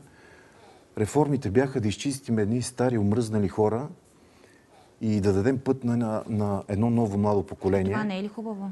А, много лицемерно беше. Защото аз, като казваме, че сме се очистили, че сме се причистили, някакси ми застават образа на Румен Овчаров, на Борислав Гоцанов, на Бриго Спарухов. Това са най-близките хора на Корнелия Нинова. Много селективно ние започнахме тази вътрешно-партийна разправа. Казах ви лицемерно облечена под някаква реформа. Да не говорим, че най-силният човек в момента е в нашата партия е този господин, който беше изхвърлен от президентството. Забравих му името. Той не е нужно толкова да го помним. А, който е лидер на, а, на младежкото СДС. Виждате, а, тези процеси на саморазправа, на липса на идеи, на липса на а, качествени послания към, аз ви казах, много подценяваме вече избирателите. Ние си мислим, че живеем в едни а, стари времена, в които можем каквото и да извадим хората да ни припознават. Но не вече. имаше програма, то доста е... стегната програма. А, не се обяснили достатъчно. Стегна тази, а, а, тя беше доста трудна за четене. Аз съм сигурен, че вие не сте прочели цялата и то, и то не заради дълбочината е. Не заради дълбочината е. Аз в програмата на, между другото, на Да България видях много по-смислени леви послания. Колкото и странно да звучи. И, да, България се позиционира дясно консервативно. Много силни истински леви послания имаше, съчетани с доста по-модерна опаковка от нашата. Те направиха и затова толкова силен резултат. Казах ви, съчетанието от трите компонента, а, липсата на качествени, леви, истински, модерни послания, саморазправата вътре в партията, на всички нива, налагането силовото на а, кандидатурите за народни представители, особено в някои региони, както и Пернишки и Видинския, и първия и втория бяха посочени от, от централата в къси листи. Водач на листа Горкия, на него още му е трудно да, да се ориентира. Ако го пуснем в център на Пеник, може и да се загуби. Вторият със спорно минало. Е какъв резултат очакваш? И сега, когато Липсата на послания, това... саморазправата, на, налагането силово на, на кандидатури, на мнения, на послания, липсата на диалог, а, смачкването на органите в партията. Национален съвет заседава на някакъв подпис. Решения вече се взимат, никой не знае къде. Аз ви казах, доста често в а, някакви седесарски кръгове, доста често в а, някои от по-умръзналите лица в партията. А, това лицемерие доведе до този, до този резултат. Сега като казвате всичко това, два въпроса. Веднага ще ви кажат, ами вие пък какво направихте, че БСП да тръгне напред? Вие спечелихте голямо доверие в Перник. Защо не приложихте такъв модел или не предложихте такъв модел в партията, а само критикувате? А, не, не критикувам. Има една приказка, не предлагай съвет, който не е поискан. Аз и в, студи, и в студия, и в опитите с разговори с, прави, с нашето ръководство, Никога не съм отказвал помощ, напротив. Аз и в кампанията, ето, един Бригос Парухов, който е отговорник на бюрото за Перник, не е стъпил в кампанията. Аз участвах в кампанията с целия риск, че аз ще бъда обвинен, че от позицията си на кмет се включвам в кампанията на БСП. Никога не съм бягал от БСП. И много жалко, когато търсим оправдания, вие да сте ме чули години и половина, аз да се оправдавам. Всички видяха в България аз в какъв мандат вляза. Да, обаче получихте обвинение. Да се... Говориха за това, че отивате а... в ГЕРБ. Сега споменахте да, България. Между другото, защо Калуян Методиев да е силният човек? В... Нали за него говорихте? За... Никога не говоря празни приказки. Аз Ама защо той е силният човек в БСП? Това вече този въпрос на председателя на партията. За, за него Ние ли нямаме ли, нямаме ли органи, нямаме ли авторитети? Да, за него говоря. Нямаме ли авторитети, нямаме ли органи и се осламе на, на външни фактори, които са изключително спорно минало. То, този подход вътре в партията. Какво прави той в БСП според вас? А, съветва председателя. Което аз ви казах, че нали, няма смисъл да моделяме чак толкова внимание на тази, на тази фигура. Не, аз опитам да разбера кой е виновен и с това започна. Защото изпълнителното бюро подава оставка и каза, ние сме виновни, ние направихме достатъчно по места. Корнелия Нинова Вижте, трябва да стане председател. са толкова обезличени, че а, аз ви казах, нормалното в неделя е, а, силното в, в неделя беше политиците да имат достоинство. Когато започнеш с оправданията, когато започнеш с шикалкаването, когато започнеш с автоголовете, с това си поведение, тръгването надолу става още по-бързо. Оставка на Корнелия Нинова щеше ли да реши някакъв казус? Ха, Въпрос. Със проблем. сигурност. Със сигурност щеше да реши. А няма ли да задълбочи кризата в момента? Не, няма да задълбочи, защото това, което чух вчера, че видите ли, без нея партията няма да съществува, е аз мисля, че здравия разум вече е напуснал не, нашата че партия. идват нови Представете ли сега в Перник да кажа, че общината няма да съществува без мен? И преди мен има кметови, след мен ще има кметове. Представете ли как ще тях да изгледам в очите на перенчани? Ако не Корнелия Нинова, кой? Защото тя беше избрана с голямо Аз ви казах, аз, Корнелия Нимова имаше 5 години, 5 години да управлява тази партия, 5 години да преведе тази партия към, аз ви казах, онзи отскок, който очакват активното малото поколение в Перник. Ние изглеждаме като някакъв ретро автомобил, който се опитваме да слагаме някакво модерно покривало. Само, че съдържанието вътре вече е изключително Кой ретро. тогава, господин Владимиров, е- би направил тази визия според вас? Най-силното в неделя беше председателя да посочи неговия наследник. Най-лекото преминаване през този период беше да е някой от нейния кръг. Никой не е имал претенции от така наречената опозиция да застава начало на партия. Вие имате ли такава претенция? А, аз ви казах, най-лекото беше тя да посочи нейния наследник, за да може БСП да отиде на бърз конгрес, да направим една стегната истинска програма, която наистина да бъде чут от избирателите, да дадем нова енергия и да влезем в президентските избори с много по-добър старт. Не случайно споменавам президентските избори. Част от този резултат е и гаврата с президентството. Не може такъв подход към тази институция. Ние само преди 5 години вехме президента като най-голямата ни победа и като едно от най-големите ни знамена. Казвате това, че закъсняхте с номинацията му за втори не мандат само ли? номинация, унижението. Вие помните нашата телевизия, какъв подход имаше. Вие помните редица анализатори, които са близки до ръководство, какви реплики имаше към президентството.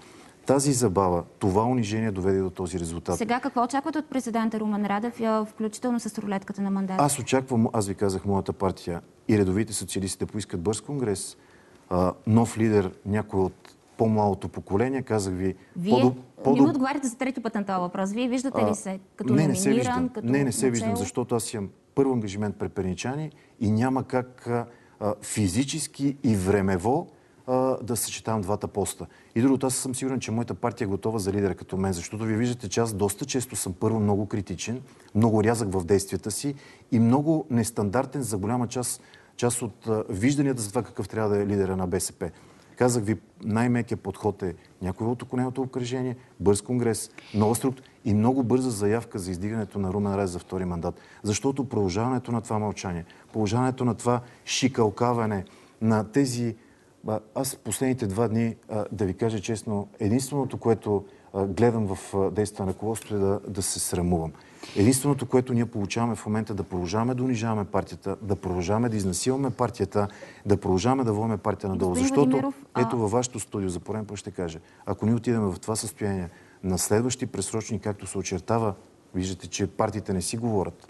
Виждате, че лидерите в Очаквате момента са в... пресрочни избори, така ли? По-скоро очаквам пресрочни избори. И ако отиде БСП на пресрочни избори, Избор ще е още по-тежък. И това е лошо не само за БСП, това е лошо за България. Аз ви казах, при тази в момента интересна конюнктура, която е в Народното събрание, която се очертава, при това а, неговор на политиците, при това силно изразено его при голяма част от лидерите, при а, тази липса на стратегическо визионерство, защото ние в неделя до голяма степен избирателите казаха, искаме да срутиме този модел. Ние го срутиме, срутихме. Ама Какво БСП правим? нали говореше същото? Къ- Те също бяха срещу този модел. Вие бяхте срещу А, този модел. А, хубаво срутихме този модел в, в неделя. Какво правим от тук нататък? И аз се надявам в България наистина да има политици, които са с а, по-малко его, политици, които а, аз не е на първо място, а на първо място ще се окаже, се окаже държавата. Добре. Искам да има повече достоинство в, в нашите политици. Благодаря ви за този коментар. Очаквано той беше доста критичен. Ще видим от тук нататък и реакцията на Позитано. Вашата прогноза е и пресрочни избори. Дали ще се стигне до такива и какво от тук нататък изобщо ще говорим в следващите минути, така че останете с нас. След обявяване на окончателните резултати, какво следва според Конституцията? Разговор с доцент Наталия Киселова и доктор Борислав Цеков. Водните казуси и техните решения. И още политическата равносметка на министър Емил Димитров. Минутите след 8. Една година в пандемия. В Деня на здравния работник. За лекарите между грижата за пациентите и системата. Гост професор Николай Габровски.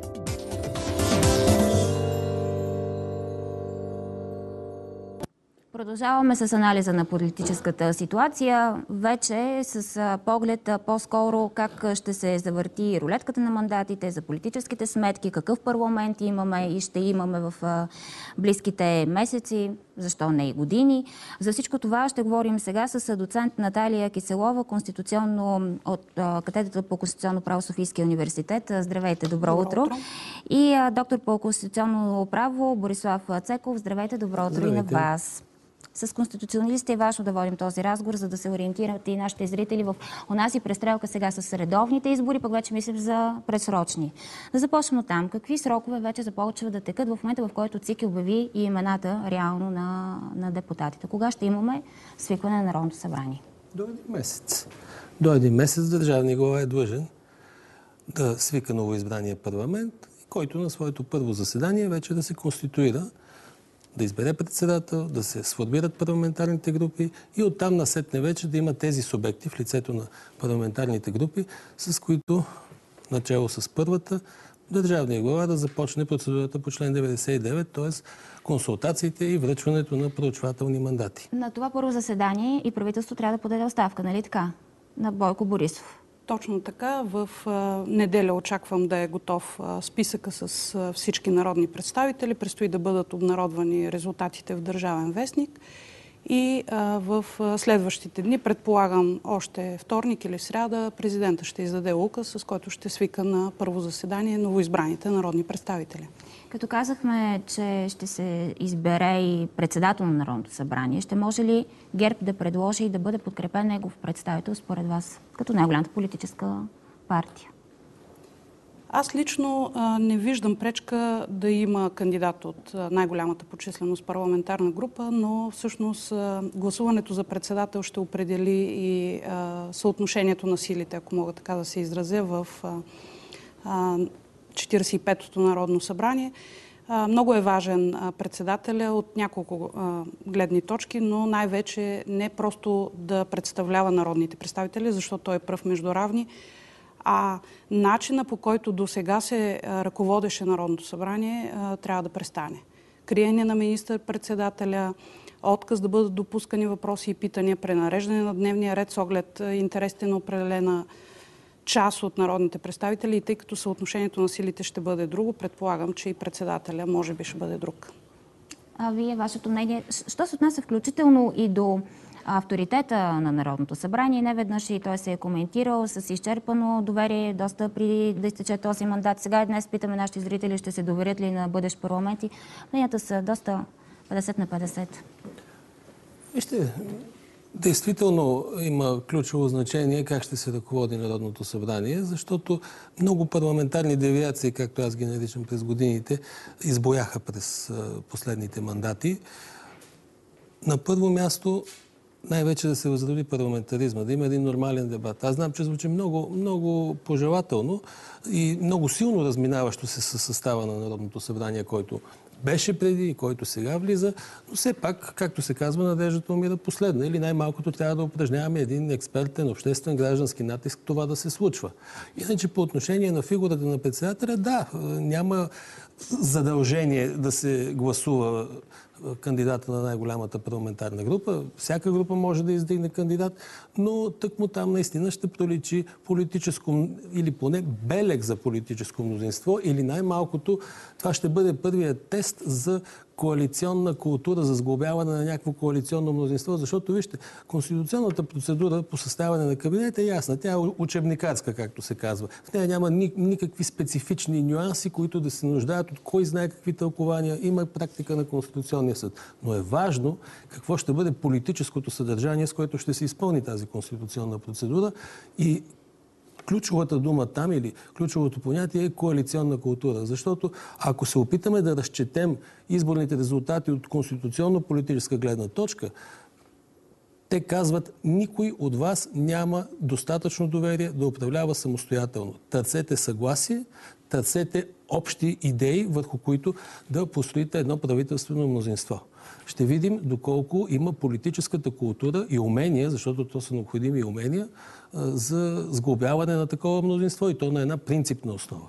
Доцент Село, в този смисъл, сега ще се бърза ли с преговорите, с консултациите? Бързо ли ще минат първи мандат, втори мандат, и трети? Как мислите? Или ще се бавят тези консултации и разговори?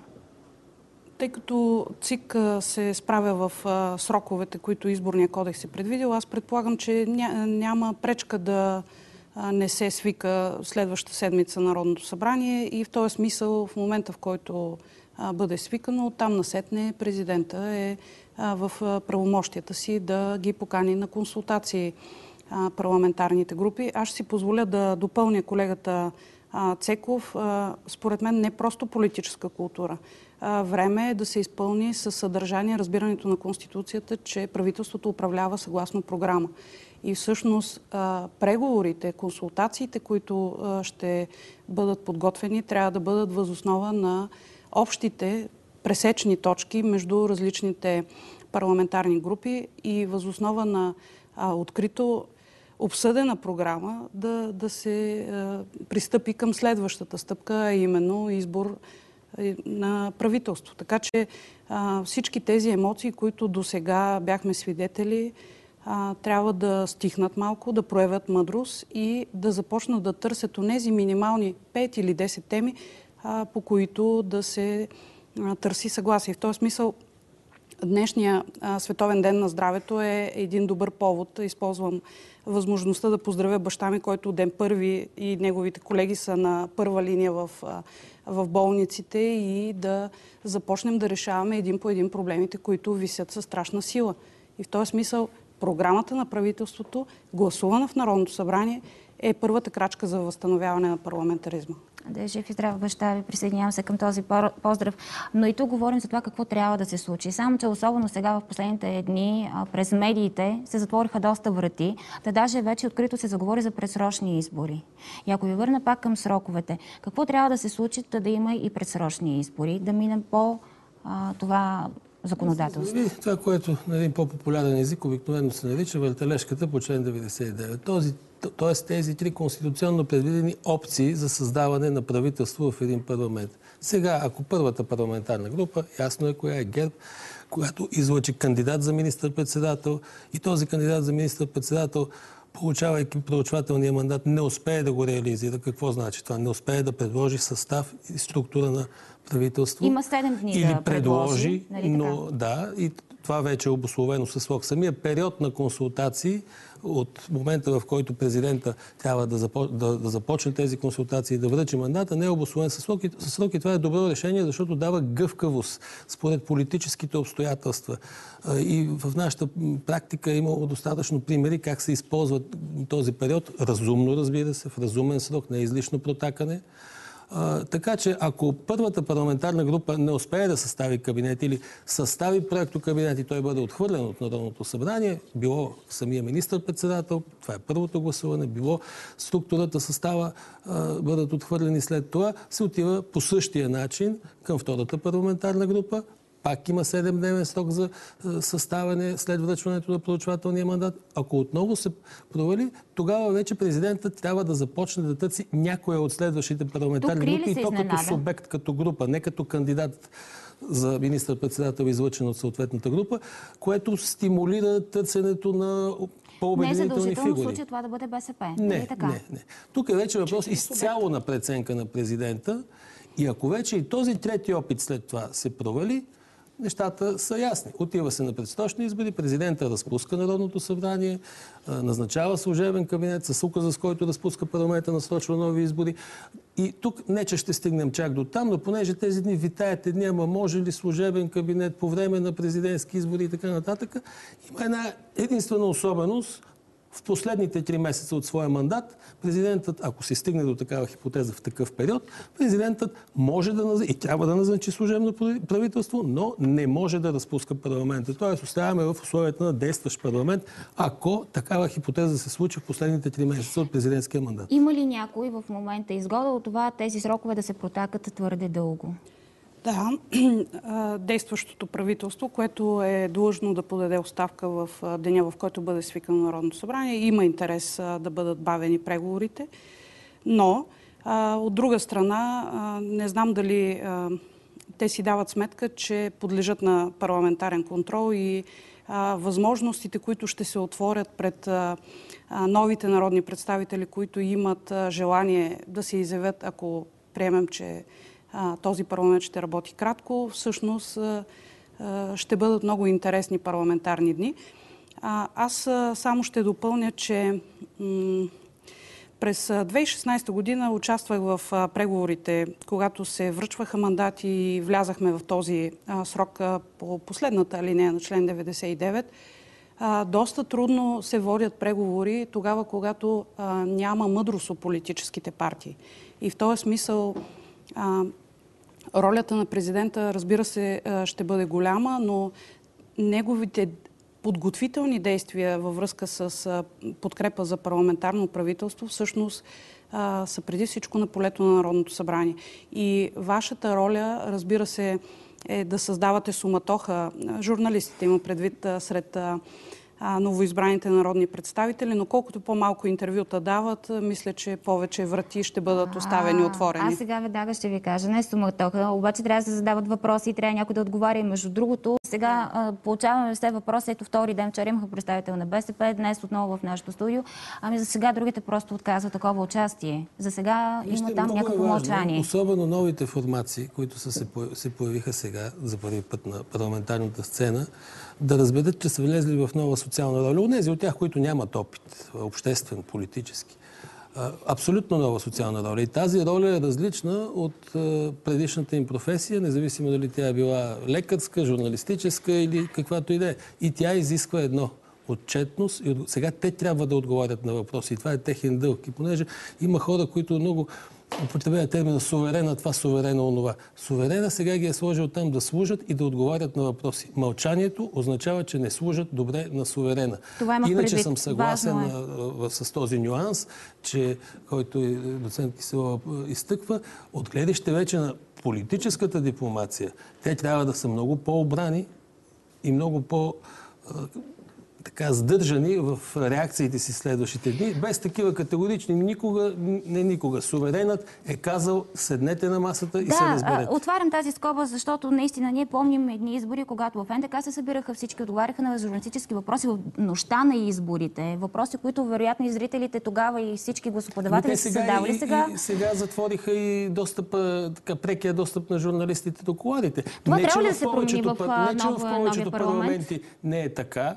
Но у нас се създаде една практика още в първите години на прехода, още от Великото народно събрание, достъпа на журналистите до колуарите да е свободен в самите колуари, да имат пряк досег до народните представители. И това е една добра традиция. Решение, дали ще бъде в Американския сенат естествено не е така. В много други парламенти не е така, но там е такава тяхната традиция. Там има други, там пък има много по-висока политическа култура на прозрачност, отколкото у нас. И това беше нашият така, практически модел, по който се даваше, превръщаше се парламента в къща от стъкло. Сега го затвориха в стария партиен дом, който за съжаление виждам, че се използва вече като емблема на изборите, като емблема на парламентаризма. Жалко.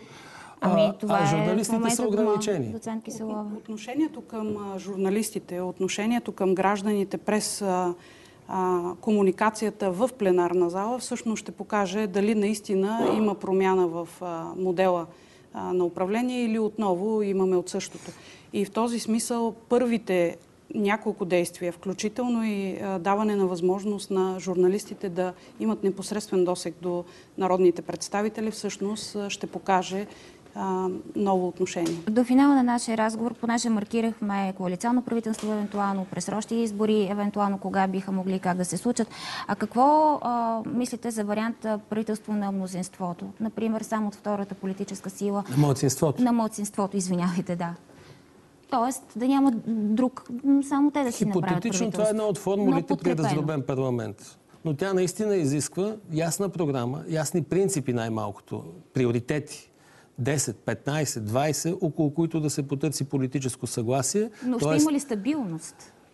При всички положения на правителство на младсинството при раздробен парламент никак не е стабилно. То винаги ходи по една гореща жара в парламента, винаги е по-податливо и на парламентарен натиск. Понякога това е за добро, но не винаги. Винаги, винаги е за добро, защото тогава, когато правителството а, търси повече съюзници, всъщност много по-диалогичен става и парламента, а и управлението. Благодаря ви много за този коментар. Въпросите, които поставихме, скоро ще намерят своя отговор. Пък очакваме вие отново да ни коментирате и за да ни ориентирате в ситуацията, в която се След намираме. Велик ден, мисля, че вече ще има яснота как След се. Велик ден. Да. Добре, това е съвсем скоро, както се казва. Ще видим. Благодаря ви още веднъж.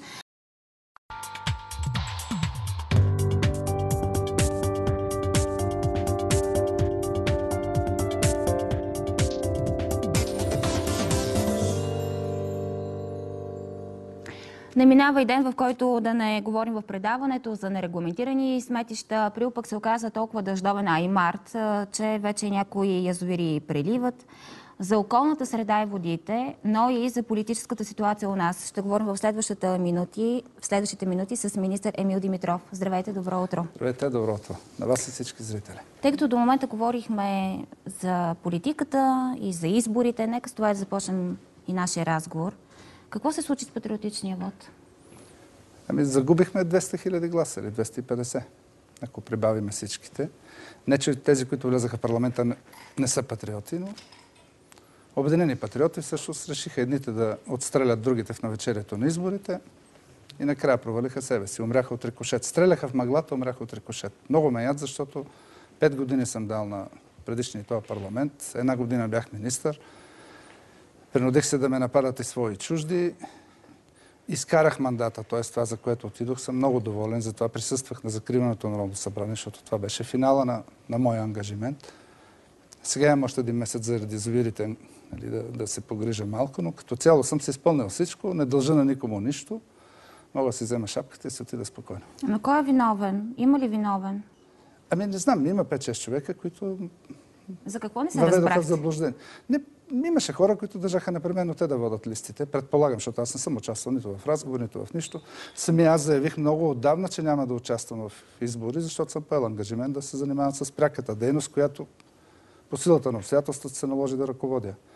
Но 5-6 човека, които държаха да водат листи. И за да не ги делят с другото политическо формирование, в последния момент ги отрязаха. А също се отрязаха себе си. Разбирам, че не искате да говорите с имена, може би и така е редно. То като помняме само, че преди две години загубиха Русе поради същата причина, нали, че се въведоха в самозаблуждение, че ще спечелят същата работа и сега. Но това си проблеми и анализи, които трябва да си ги правят вътрешно.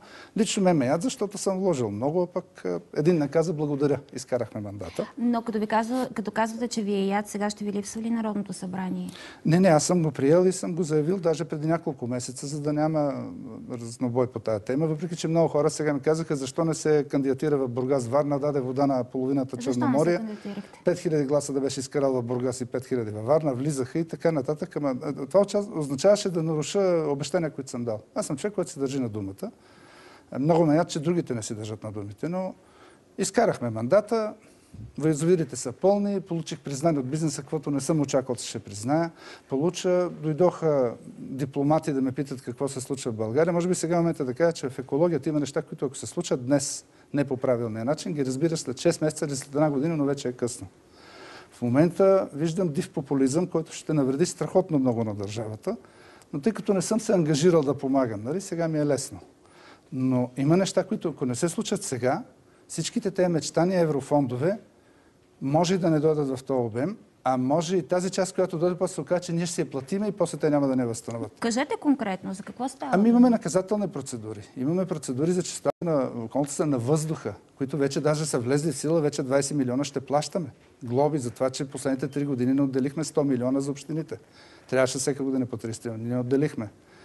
Виждате, че една година имаше вод на недоверие, след това мен само нападаха, нямаше втори вод. Тази тема я забравиха.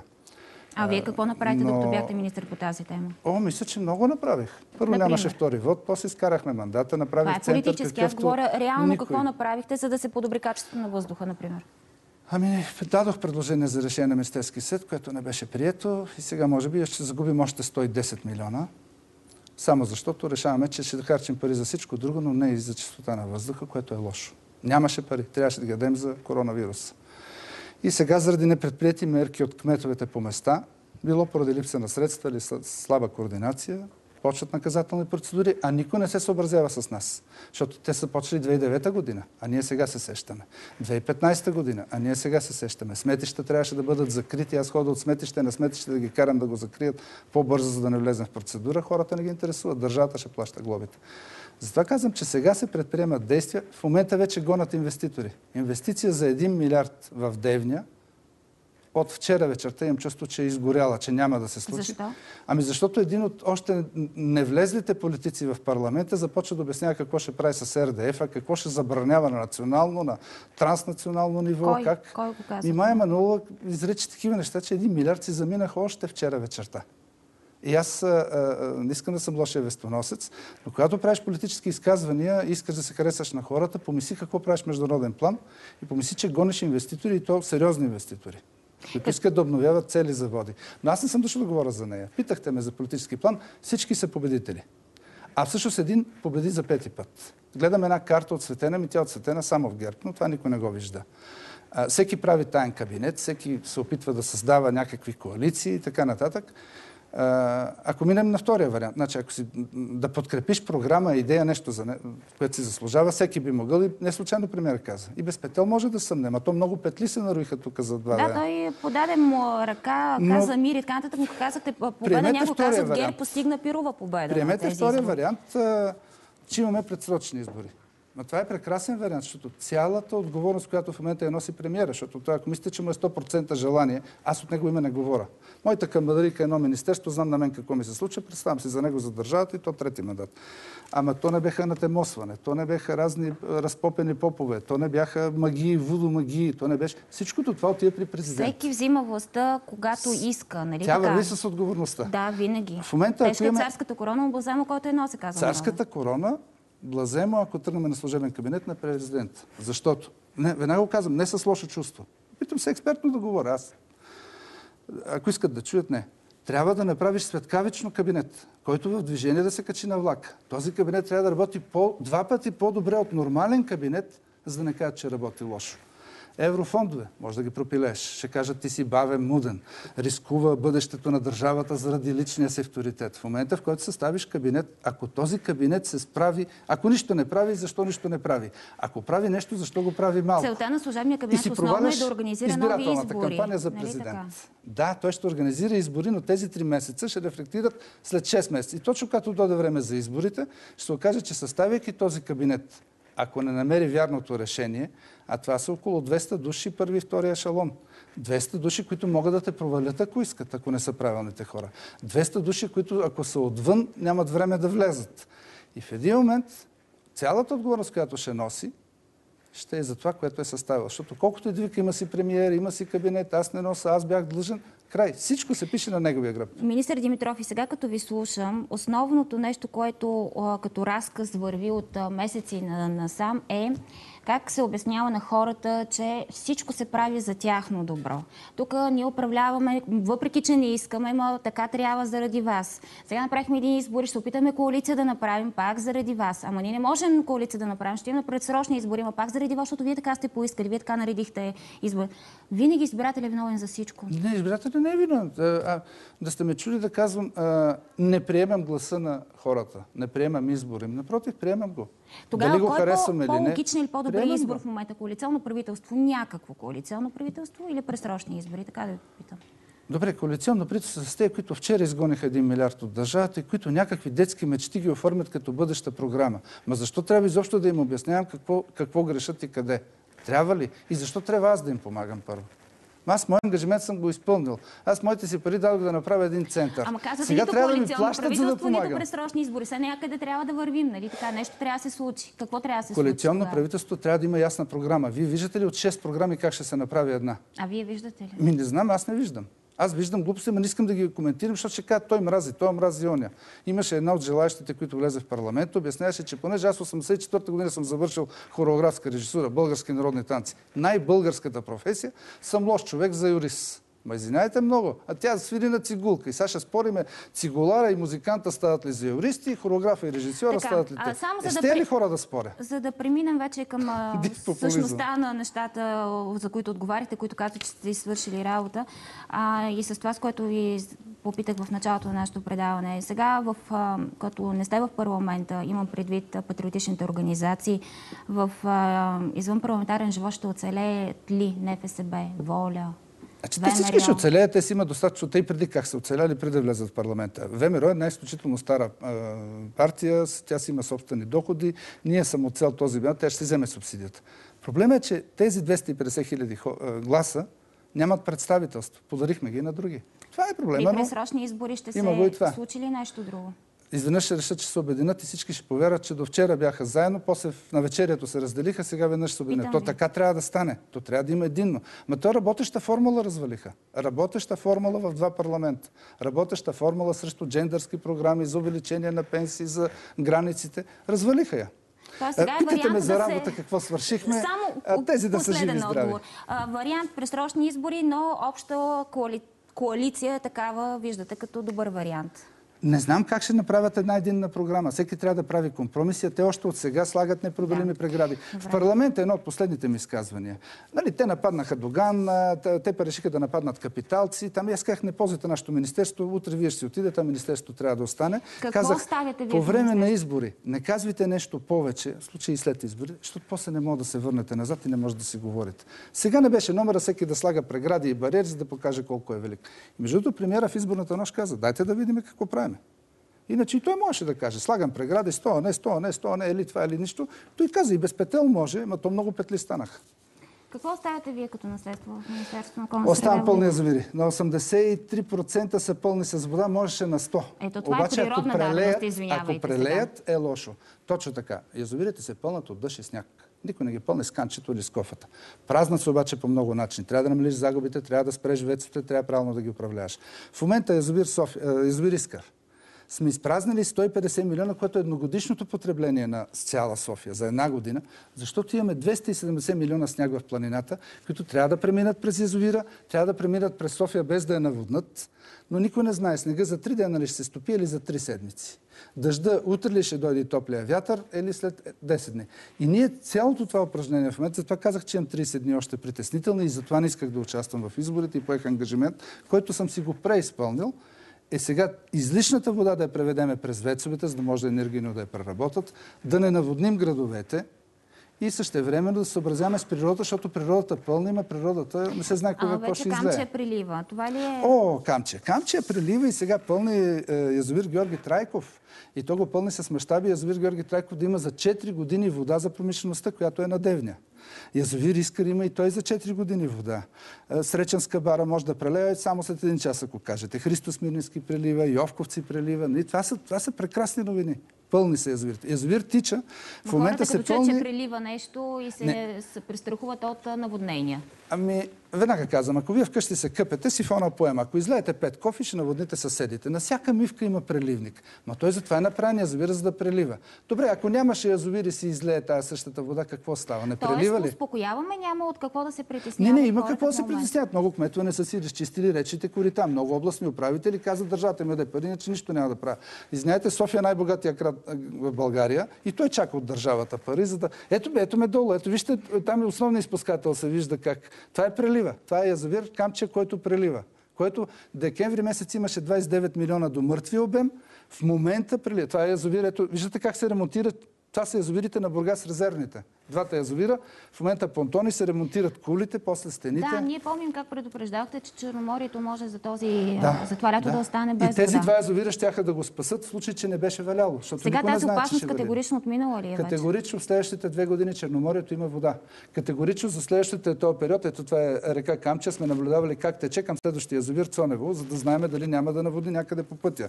Но никой не знае колко дъжд ще се излее по пътя между един язовир и други. Никой не би могъл да Прекъснах предположи. ви там, където казвате, че речното корита трябва да бъдат почистени, особено сега. Но областните управители казват, аз писах писмо до Министерски съвет, не ми дадоха пари, значи съм длъжен нищо да не правя. А като дойде водата, тя не се съобразява ти дали си писал писма, не си или дали си изчистил или не. Тя наводнява. И затова ние много хубави язовири. Между другото, показвайте ги пълни, защото скоро няма да се случи. Следващите В, в, питахте ме цяла година за, за Камчия, питахте ме и за Тича. В Тича има вода за 4 години. Отделно, че ще дадем и на земеделците. Всеки ден в момента, защото има дъжд и сняг, влиза вода за 60 дни. За един ден това, как, което е необходимо за 6 Какво се случва обаче с загубите, за които също казахте и които са си основния проблем? Язовирите пълни, само че тръгват по една мрежа, която... стара мрежа, затова сега се опитвам тази седмица, ще направим поредното заседание, да може да помогнем, макар и в много малки мащаби, на общините, които имат амортизирана водопроводна мрежа, канализационна мрежа. Имаме наказателна процедура за пречиствателните станции в големите и малките населени места. Ние се правим, че не го забелязваме, а тази процедура ще са санкции. И после ще кажа, че сме платили повече пари на Европа, с, отколкото трябваше да похарчим, за да направим тези пречиствателни станции. Очакваме пари от Европа, но то си ангажимент и отговорност. И точно сега в момента е най-лесно аз да се сложа портрета на стълбите, да кажа ето ви пълни язовири, довиждане. Но ще ми е много интересно след това. Те, че се занимават с мене като дъвка, ясно, но да видиме какво ще се случи в следващите 6 месеца. Много ми е интересно. Аз имам спорове в самото министерство, е, в самия Министерски съвет. Дали трябва така да се направи по друг начин. Но това са вътрешно-ведомствени спорове. Аз имах спорове цяла година, бе, как един път не се събрахте коалицията на тема екология, бе хора. Едно, един проблем да бехме решили. Аз имам подкрепата на премиера. Ама аз не мога за всеко нещо да тичам Ама господин Димитров, и сега като казвате всичко това, дадохте загубата на това, че са се разпокъсали някакси да. патриоти. Добре, а няма ли, тогава, няма ли тогава обяснение това, че хората просто а, загубиха доверие във вас за нещата, които не успяхте да направите? Казвате, вие Всички самите вътре не сте се разбирали. почти наполовина намалиха резултата си без ДПС, който леко го увеличил и ГЕРБ, и БСП, и само ДПС леко го увеличил. Обединени патриоти също получиха, може би, половината от това, което миналия път. Но грешките във вашето управление да не, не ги ли учитате? Хората ги виждат. Със сигурност има и грешки, със сигурност и много хора са разочаровани. Но тези, които гласуваха, които отидоха да си пуснат гласа, те не го пуснаха за да отече в канала и да отиде при други. Те го пуснаха за Обединени патриоти. Очаквате ли сега, много често чувахме и подобни заявки, ревизия на управлението до момента, ревизия да се прави и в вашето министерство, да се види какво сте направили? Сега е момента да кажа за вица за трите плика. Той е много хубав. Американски президент оставя три плика в касата на следващия президент и как като закъсваш, отваряш първи плик, втори, трети. Закъсва нещо, то отваря и в първи плик пише. Обвинявай, обвинявай, обвинявай. Старото управление, те така, нали така. Пак закъсва, отваря втория, обещавай, обещавай, обещавай. Почва да обещава. Сега така, ама след една година. Отваря третия плик и напише, пиши три плика. В момента това, че ще ми правиш някакви упражнения за миналото, изобщо няма да помогне за програмата за еврофондовете.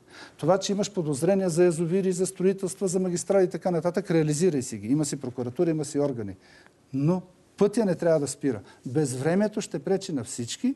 Безвремието най-много ще пречи на, на, на президента и следващата президентска кампания.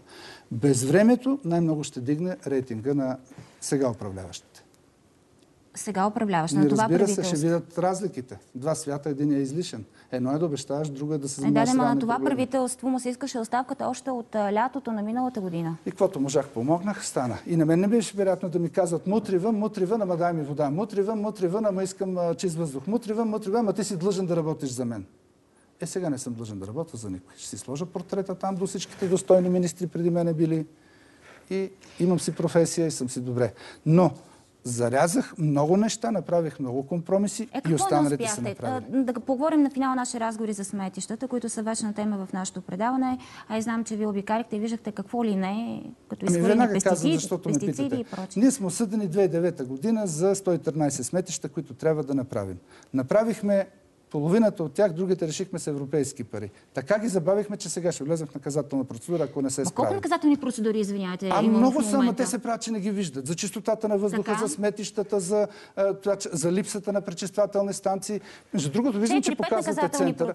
Да, да, да, те предстоят. И то процедури, които много пари. Много пари, но всички се правим, че не знаем за тях. И, и ето сега в момента искаме ни 8 милиона за Горна Ряховица, за да отпушиме е, чистотата на въздуха, печки и климатици на София, на Бургас, на Смолен, на това. И няма пари, защото ги даваме за коронавирус. И се оказва, че околната среда и водите струва скъпо във всякакъв смисъл. Казвам го по-лесен начин. Само един министр се хвали с приходи финансови, а всички други се хвалят с разходи. Цялата европейска програма е зависима от Министерство на околна среда и водите. И ако не се предприемат верните действия, ще се похарчат пари, но няма да бъдат възстановени от Европа. Ще го научат по трудния начин. По трудния начин. До сега работех за чест и слава и за това, че съм дал дума. Сега вече нямам ангажимент към никому. Да, да, ма някой трябва да седне на вашия стол въпросът е от тук нататък какво в а, тази политика, която вие казвате, за, за, завещавате не малко проблеми. Те си седат от а, 2009 година, но ние не ги решаваме. Те си от 2009. Казахте сметища. 113, ние сега някак си ще опитаме да ги направим. А, а онзи ден премиера, като каза, че ще дава пари за сметища, излезаха 1400 нерегламентирани. Вие какво си обясняте? За 113 наказателна е, кой е виновен за всички тези... Ами може би аз отидах във Велинград и направих незаконното сметище. Кметовете, може би аз ли? изхвърлих в река Струма Не, в не, кажете кой, отпадъци. кметовете? Има Кой? кметове, които всека година правят сметище и държавата му е длъжна да му чисти. Има областни управители, които не си чистят коритата, ама държавата им е длъжна. Еми добре, аз съм а, за, виновен за всичко в България. Е, вие виждате ли шефа на полицията, министъра, да ходи да пише актове на всеки за улицата? А от мен искате всеки проблем лично. Една година си носих кръст. Сега нека да има по-достойни. А, Обикновено тук е, се оплаквате от това колко ви е трудно и колко Не, не, не. ангажименти сте поел. Сега с усмивка приключвате очевидно. Бях Вече камък ви единствения падна министр, извинявам се, че нарушавам времето вашето, но единственият министр съм, който отиде на последното заседание на Народното събрание. Първото уважение към всички народни представители. После, тогава ми свършваше мандата. Мой ангажимент свършваше с последното ударане на звънец. Благодарих на всички, снимах се с тях. Пет години съм изкарал там и една година като Ама министър. няма ли да се върнете? Не искате ли да можеш се върнете си под някаква форма? Не ви ли хареса това сега? Харесва ми, добре се справях, бях председател на комисия. Загърбих всичко за министър, загърбих и участие в избори за министър. Имате ли Сега политическо бъдеще човек. според вас някакво? Никой не може да ви каже. Никой не може да ви каже. А, знам, че мога да се справям и в парламента, знам, че не е лошо да се справям и като министър. Аз съм администратор. Лекаря в болницата, който е директор, няма всички лекарски специалности. Професора в университета, който е ректор, няма всички е, професори. Аз съм администратор, който ръководи процес. Има достатъчно много специалисти. Вие какви ревизии направихте? Нека с това да завършим, защото се заигравам с вашия прякор, който е така С ревизии. В момента имаме една организация при мен, структура, няма да казвам коя, която двама директори, един главен секретар и четирима директори на провалят държавата, бъдещето на държавата, превърнали се го в частна структура. И аз се чудя да в ДАНС ли да хода, в прокуратурата ли да хода, защото се опитват да саботират първо държавата, после Министерството и да си го ползват като частна собственост. Имаше такива проверки в Министерството. Не, не, Предходния не е в Министерството. знаем Не е какво в се Министерството, но съществува и това ми е голям проблем, защото а, партийна пристрастие. На мен централата така ми е наредила. Ма коя централа, бе? Ти партийна централа ли си ли държавна структура? Така че проблеми много, опити за стачки и саботажи много, но да му е честито на новия президент, ако ще, на действащия президент, ако ще има предсрочни избори.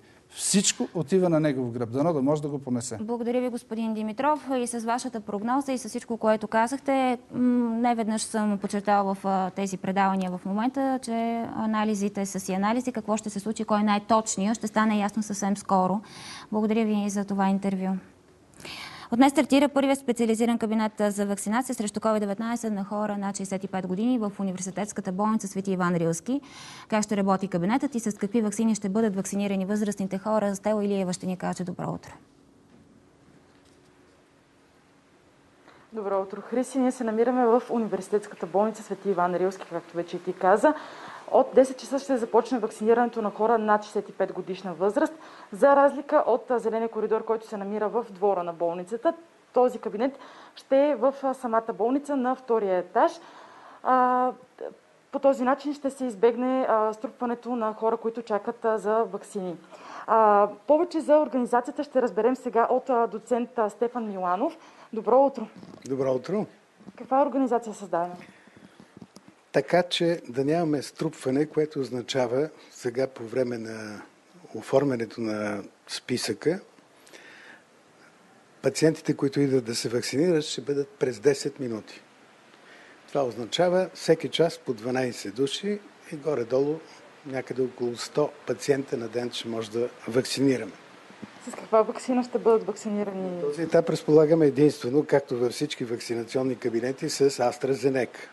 Очакваме, тъй като от 20 дни не сме получавали нито една доза от така наречените информационни РНК вакцини и затова написахме в нашето съобщение, че всеки момент ще получим от този тип вакцина.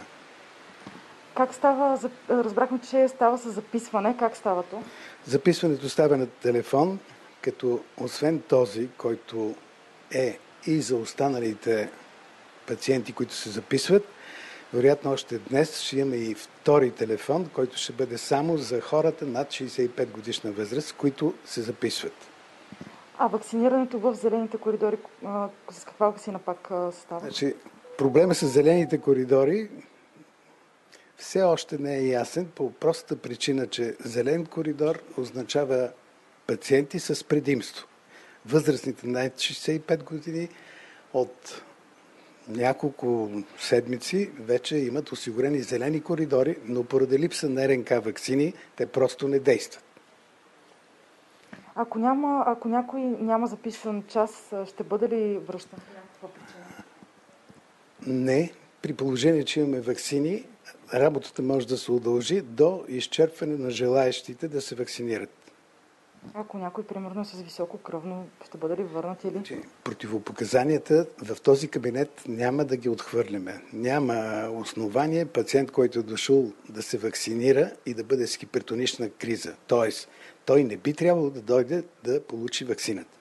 Питам ви просто, ако имат някакъв здравословен проблем, ще ми бъде ли отказано да бъдат вакцинирани? Това лично аз ще го преценявам. Моя опит, дългогодишен в областта на вътрешните болести, ми дава основание да бъда сигурен в съвета, който ще дам на пациента, който иска да се вакцинира с придружаващите заболявания. Отколко, доколко ще работи кабинетът? Стандартното работно време, което е уточнил директора, е от 10 до 16 часа. Но при наличие на вакцина, ние ще удължим работното време до изчерпване на вакцината. А, какво е вашето впечатление? Има ли в момента много желаящи да се вакцинират през последните седмици? Естествено, всички на този етап, след антирекламата за AstraZeneca, искат да бъдат вакцинирани с РНК вакцина. Добре, благодаря ви. Разбрахте, вакцинирането ще става с AstraZeneca. Кабинетът работи от 10 часа до 4, до 4 след обяд и записването става по телефона. Това е от тук. Благодаря ти, Стела. Ще продължим разговора сега в нашото студио в Деня на здравето и на празника на здравния работник. При нас е един от най-обичаните лекари, спокойно можем да го кажем, и заместник директор на Пирогов, професор Николай Габровски. Здравейте, добро Честит Здравейте. празник! Благодаря ви. Благодаря ви. Нека да използвам а, вашата трибуна, за да поздравя всички по случай Деня на здравето. Самия за здравен работник, честно казвам, не ми харесва много, но Бих искал да поз... Да, обобщаващо всички, които се грижат за здравето, и лекари, и специалисти по здравни грижи, дори така и чисто в административен аспект, който също е много важен, да им пожелая преди всичко здраве, защото виждаме колко важно е това, да им пожелая а, сили и търпение, защото и това ще мине. Подложени сме на голямо изпитание, но се надявам, че няма да е днеска, няма да е утре, но наистина и това ще мине. И едно самочувствие. Самочувствие от, за изпълнения дълг нещо, което мисля, че се случи през последната година е, че ние много достойно защитихме името на нашата професия и това продължава. Така че мисля, че всички и лекари, и специалисти по здраве и грижи, и всички, които помагат да имаме по-добре здраве, имат основание да имат самочувствие. До празник ли ви обаче? Ами не, за съжаление няма как да ни е до празник. Вече втора година не отбелязваме радостно този ден. В момента цифрите показват, че нещата не са никак спокойни. По-скоро болниците, особено големите, са изключително натварени. Говорих с колеги и в Плевен, и в Варна, и в Пловдив. Се чухме насякъде едно и също. Големите университетски структури, големите болници като цяло са, за съжаление, концентрирани само върху една тема и тя е COVID не отминала COVID, пандемията, епидемията и вълната, така ли да кажем? Защото, ами... знаете ли защо ви питам? Сега малко се концентрирахме повече към изборите и наши зрители казаха, ао, вече няма COVID, не говорите толкова много за COVID. Ама минал ли е вече COVID? За съжаление не и почти всички параметри показват, че има едно забавяне на нарастването на броя болни, но няма и данни за спад а, остава много висок процент на позитивни проби дневни. Примерно към днешна дата мисля, че е 23. Общо взето последните седмици е между 20 и 25, което е обезпокоително високо. Знаете, че в спокойните дни, които имаха примерно януари или в края на лятото, този процент беше паднал под 10. А, така че цифрите ни една година вече сме опознаваме тази инфекция, този проблем, тази епидемия. Мисля, че всички ние, не само лекарите, и гражданите, вашите зрители, научиха достатъчно. И някой да смята, че това е отминало, само защото е имало избори и не се е говорило толкова много по тази тема, вие твърде далеч от истината. Не е отминало, все още има такъв проблем, не е толкова тежък, колкото беше, може би, сега надявам се пика да сме го подминали, но все още е изключително сериозно. По-тежко ли протича, като казвате все пак и цифрите и данните такива каквито са, по-тежки случаи ли приемат, например Пирогов? Не знам дали може еднозначно обобщение да се направи. Категорично възрастта е по-ниска на болните, които постъпват. Може би 10, 15, дори 20 години разлика и при някои болни категорично е по-агресивно, с по-ранно по увреждане на белия по-ранни фибрози, с по-малко повлияване от подаване на кислород, което е много обезпокоително, тъй като това е основното средство за борба с тази инфекция. И като цяло, да, имаме мал, малко по-общото впечатление за по-агресивно протичане. Едно от нещата, които се казва за това, че са на толкова натоварени болниците, е факта, че много хора са се наплашили достатъчно, че при първи симптоми искат да бъдат прияти в болница, не защото имат нужда от това. Така ли е? Много бих се радвал, ако е така, защото това реално би означавало, че системата е по-малко натварена като тежест на случаите. Но ви, поне в Пирогов със сигурност, от всичко, което чувам и за големите болници, с които постоянно обменям информация, това не е така. Ние имаме доста ясни критерии, при които приемаме пациентите. Какви са те? И, примерно под 80% сатурация или падаща сатурация между 80 и 85, ако виждаме, че върви надолу сатурацията. Разбира се, има и други неща, които имат значение, са придружаващи заболявания на пациента и така нататък, но това е един от индикаторите. Задържане на висока температура повече след началото на антибиотици и повече от определен брой дни, примерно 3-4. Така че тези критерии категорично а, говорят за едно по-тежко протичане и да, има много притеснени хора, които идват, но а, ние сме толкова пестеливи към леглата, които имаме, които забележете са 450. В толкова голям дефицит са тези свободни легла, че наистина приемаме само тежките случаи. 450 легла, колко са пациентите в момента? В момента има 450 души с COVID, които се лекуват по-голямата част от големите болници са заети в много висок процент от леглата си, над 50, 60, 70%. Просто а, истината е, че в момента ние все още лекуваме пациентите, които постъпваха в възходящата фаза на, на, на развитие на заболяване, на, на епидемията. И всъщност ние все още сме, знаете, че две седмици назад се движат нещата. Ние всъщност в момента лекуваме вълната от преди две седмици. И с огромно нетърпение чакаме а, и се надяваме, че това 10-дневно затваряне сега ще започнем да берем плодовете му и ще имаме едно успокояване. Сега ли трябва да има този ами, ефект? очакваме го буквално казано до дни. То не може да се каже наистина, че е точно 2 седмици или 14 дни, но между 10 и 15 дни е обикновено а, ефекта от мерките, така че а, убеден съм, че това ще е големия подарък за колегите за празника. Наистина, ако започне да се пречупва тази тенденция, нямаме основания за огромен оптимизъм, защото а, това, което виждахме по улиците, говори, че някакси хората подценяват, продължават да подценяват. Мисля, че това е отминало. Не е така, не е отминало. Продължаваме да имаме проблем. А, и всъщност тук се замислих и за меките, които взимаме и за обществото. Всички ние много се уморихме. Ние в а, системата на здравеопазване със сигурност бяхме подложени на огромно напрежение, но и всички хора, цялото общество никой не иска да стои затворен вкъщи. Но истината е, че една година по-късно ние знаем много за тази инфекция. Ако проявявахме достатъчно разум, ние не би трябвало да имаме почти никакви мерки. Ясно е, че един човек, който е по-възрастен и с повече заболявания, трябва да бъде по-предпазлив. И ясно е, че един млад, дори да е по-малко застрашен, трябва да бъде предпазлив заради околните. Ако тези неща ги спазвахме, мисля, че бихме могли да имаме пълна, почти пълна свобода. Но професор Габровски, тук върва, вървят някакси, да кажем, хайде обвиненията, въпреки че е много силно, двете посоки. Обществото казва, те така управляват кризата. Те то пускат, то затварят, то това казват, то онова. От друга страна, здравните власти, наобщо казано, казват, ма хората вече се измориха, не изпазват нищо и не се пази достатъчно. Тогава кой е виновен, ако а, има виновен? Аз мисля, че и двете неща, в двете позиции има нещо вярно. Всъщност, аз това и се опитах да кажа. Ако ние бяхме съзнателни и спазвахме меките съзнателно, общо, всеки един от нас като част от обществото, нямаше да има нужда от тези рестрикции, защото всеки ще, ще си знае място, да спазва малко дистанция, да спазва малко по-висока хигиена и нещата да бъдат, бих казал, в едни разумни граници. Имайте ние все още сме от страната с най-либерален режим. А, просто има места, на които са с вечерни час. Една Холандия, примерно, е с вечерни час. Не можете да излезете в 10.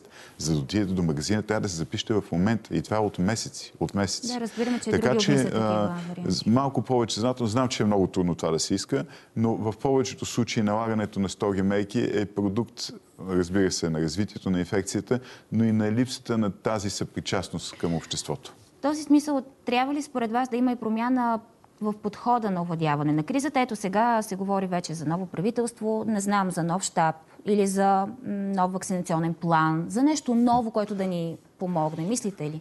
Това, че има избори по никакъв начин не променя хода на епидемията, нито а, природата на вируса, нито неговото поведение. Ние сме в същата ситуация, в която сме били преди една седмица.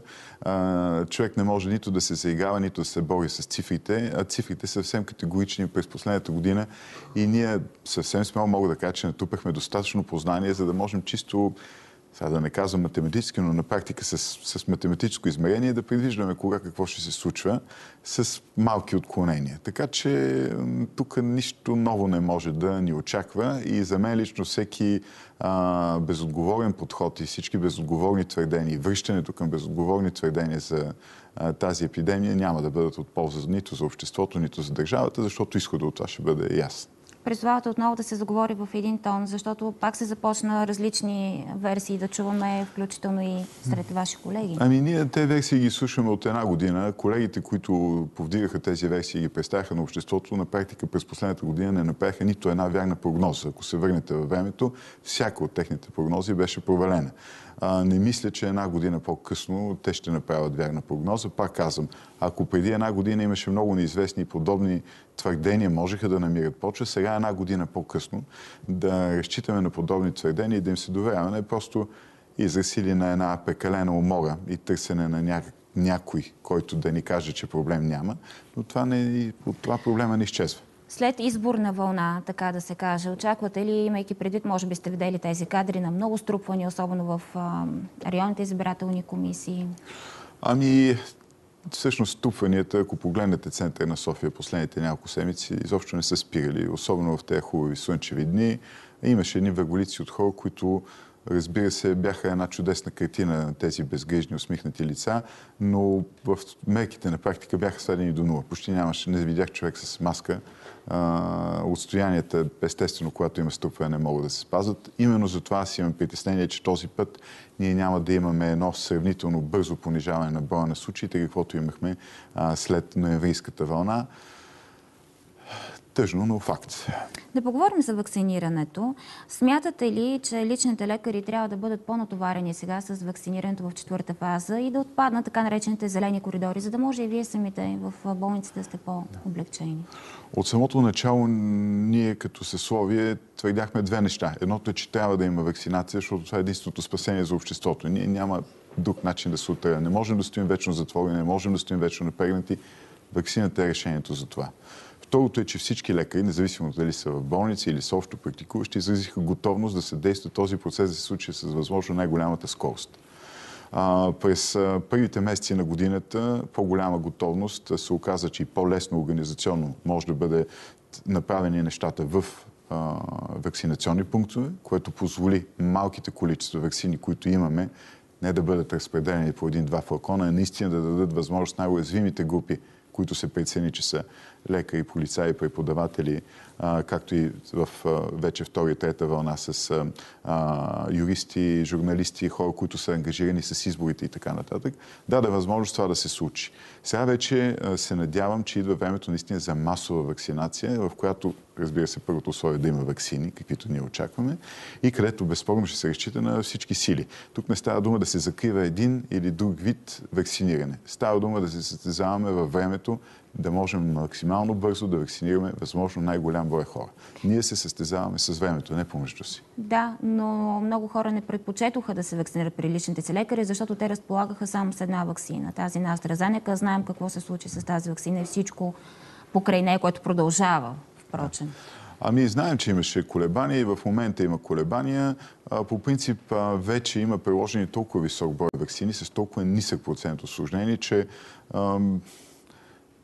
доказателството, че всички вакцини работят за мен лично е факт. Наистина трябва да се провери този риск от тромбоза дали е повишен, защото могат сравнително лесно да се вземат меки, но в крайна на кращата има органи, които взимат тези решения. А... Мерките, а, някакво лекарство след вакцинация, това ли е? Защото чуваме и за това, че някои лични лекари изписват лекарство, което помага да не се образуват а, Да, тромбози. има много препарати, включително и а, аспирин, който се взима за разреждане на кръвта, както казват хората. Това, разбира се, трябва да бъде преценено дали да се прави, защото човек може да има други заболявания и така нататък. Има си плюсове и минуси. Самите лекарства, които разреждат кръвта, имат своите потенциални осложнения. Така че това трябва да се прецени. Но Питам ви, извинете, че ви прекъсвам, да. защото е важно това да го уточним. В един от репортажите преди малко нашите зрители видяха притеснение на лични лекари, че някои хора, които са си сложили първа доза на AstraZeneca, сега може да се откажат от втора доза. Наши зрители пък питат дали втората доза е възможно да бъде от РНК вакцина. Никъде няма подобна препоръка и подобна практика. Възможно е подобна практика евентуално някъде по света по различни причини да се утвърди. Ако това се случи, разбира се, ние ще въведем, както с всички добри практики се опитваме да правим, възможно най-кратки срокове. Към настоящия момент препоръката е да се прави втората а, игла или втората доза от същата, каквато е била първата. И вие в Пирогов не правите подобно нещо. Наша не. зрителка твърди, че в Пирогов на определен период от време, примерно ако са минали 20 дни, може да се направи втора Няма доза. Такова нещо. Няма такова не, нещо. Отричате го, за да е ясно да отговорим и на, на този въпрос. С какво вакцинирате вие в момента в Пирогов? С коя вакцина? Ами в момента всъщност имаме едно малко количество, което е за втора вакцинация с Pfizer. И имаме, разбира се, AstraZeneca в момента, но бих казал, че изчакваме решението на Европейската агенция, тъй като очевидно от вчера има повдигнати допълнителни въпроси. Мисля, че е разумно да се изчака няколко дни, докато имаме официален отговор. В крайна на краща за няколко дни никой няма да забави вакцинацията си. Не мисля, че това ще е проблем. По-правилното би било да се изчакат тези няколко дни. Казахте, че Пирогов продължава да бъде в натиска на много пациенти от COVID болни. Ако се случи така, че се запълнят леглата, то колко са общо, между другото, в COVID? Ами, са 450, в момента са пълни 444, в смисъл към преди 2 часа. Сега какво е, не мога да ви кажа. Имате ли готовност за още? Ами не, не, ние просто това е. нямаме никаква физическа възможност. Това е изключено. Бих казал, че това беше едно свърхусилие, което се направи, за да се отворят толкова а, легла. Да не забравяме, че те леглата са легла, но нали, трябва да има лекари и персонал, който да ги обслужва. Има ли? А, да, да, за, за щастие ние при предишните вълни една част от колегите, буквално казано, се преквалифицираха, изградиха се структури, които са под ръководството на интернисти, на хора с повече опит, изградиха се протоколи за медикаменти, за проследяване на болни, за всичко на практика имаме протоколи, така че много се напредна в начина по който се лекува това заболяване.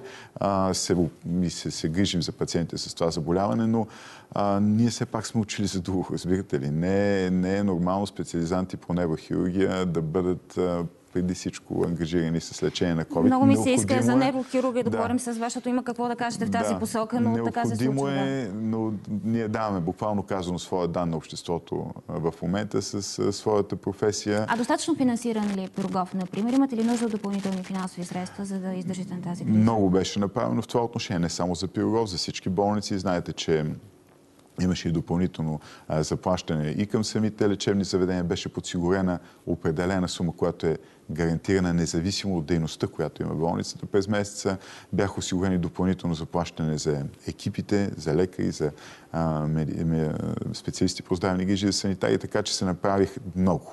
Много се направи, за да може да се премине по-леко през тази криза. То няма как да е леко. Просто истината е, че напрежението е огромно, усилията са огромни справяме се достойно. И като казвате, че се справяте, какво, как да кажа, как се нагаждате към това нормално днес, с което вече свикнахме? Какво се случва с другата дейност в Пирогов?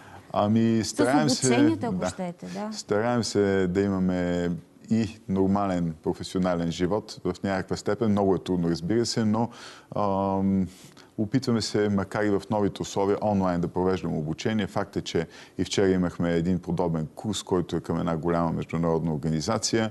А, няма го личния контакт, което е голям минус, но пък може много по-лесно да се съберат повече хора на едно място, така че опитваме се да свикнем с ново, това ново нормално. А, опитваме се някои нови технологии, роботизирани да въвеждаме въпреки всичко. Тоест, а, вътрешното ни желание да се върнем към нормалния си професионален живот естествено ще трябва да проявим търпение. Голямото ни желание е да са възможно най-кратки тези срокове, както всъщност и на цялото общество. Мисля, че всички ние искаме това да бъде зад гърба ни. Пътя към това е все пак проявяването на разум, да не отричаме, че имаме проблем и да се вакцинираме да приемем, че това е един преходен период. Вече се подготвяме да се върнем в истинския си живот и истинското си ежедневие. Дано, дано. Благодаря ви много за този разговор. Още веднъж честит празник на вас, на вашите колеги. Приемете искрените ни поздравления и благодарности за всичко, което правите. Благодаря ви. В следващите минути, уважаеми зрители, обаче ще говорим за отново едни измами, които за съжаление в нашата страна очевидно се ширят. Някой с фалшива лична карта само за един ден може да изтегли от три различни банки кредити на чуждо име. Ще ви разкажем историята на Димитър Марков, който има общо задължение около 118 000 лева. Даже е ходил в четвърта банка, но там му отказали. Потерпевшия Димитър Марков вече една година се бори за правата си, като има и наказателно производство в Софийската районна прокуратура, но това разследване в момента не е приключило. Законът пък изисква всяка загуба и банката да продължава да си я търси като такава. Още за този случай ще видите още тази вечер в Следите остават. Сега кратък отказ. След това ще говорим в студиото с автора на този репортаж Богдана Лазарова.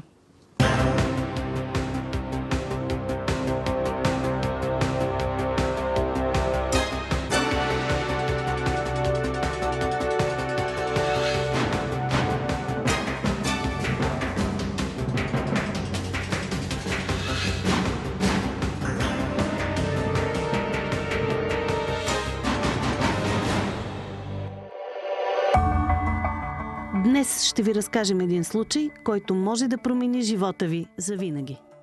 Казвам се Димитър Асенов Марков и към днешна дата съм длъжник по потребителски кредити на обща сума от 118 000 лева, които аз не съм изтеглил. Кредитите са необслужвани, тъй като не са теглени от мое лице, от а, друго лице, което с фалшифициран документ за самоличност, лична карта е успяло да ги изтегли. Към днешна дата аз съм в черния списък на БНБ, имам лоша кредитна история, ЦКР-то не ми позволява по никакъв начин да се възползвам от каквито и да било кредитни инструменти, от каквито и да било финансови институции. Изводът няма застраховани. Нека така да започнем разговора сега с Богдана. Здравей! Добро Добре утро, дошла в нашото студио. Добро утро и на всички наши зрители. Аз някак се маркирах тази история, но основното от нея, което излиза е, че наистина може на всеки да се случи, просто да попаднат личните ни данни в някой то да тегли на наша сметка, така ли? Абсолютно никой не е застрахован и това е само част от белята. Защото а, нашия зрител, всъщност аз го правя по а, сигнал на наш зрител, нашия зрител една година вече ходи по мъките. При него е започнало от НАП някой с фалшивата лична карта, първата проба е направил в НАП. Отишъл си извадил пик код на негово име, без някой въобще да погледне да сравни снимката, нали, дали отговаря, дали е също лице. И оттам вече се е добрал до данните за заплата, доходи, нали, работодател и така нататък и всички фалшиви документи, които е представил за кредита. Другата част от проблема е, че вече една година той не може да излезе от този проблем, защото независимо, че има наказателно производство, закона е такъв, че банките искат да е приключило то, да има посочен за виновен човек и тогава да спрат да му търсят кредитите. До тогава те му ги търсят. Даже едната банка го е дала на колекторска фирма и опасността е всеки момент да го дадат на а, частен или държавен съдебен изпълнител, да му запорират и разпродадат имуществото за тия кредити, които някой престъпник е сложил в джоба. И, а, а знаем, че в България доста дълго продължава. То разследването за една година не е приключило, оттам нататък три съдебни инстанции. И той а, се опитва да преговаря с банките. Има четири графологични експертизи, направени, че не е неговия неговия подпис. Установено е, че той е бил на друго место. Но независимо от това, нали, те продължават да си държат него като клиент. А, и а, фактически а, проблема е още по-голям, защото в нашето законодателство кражбата на самоличност не е престъпление, както на Запад е, и в Америка.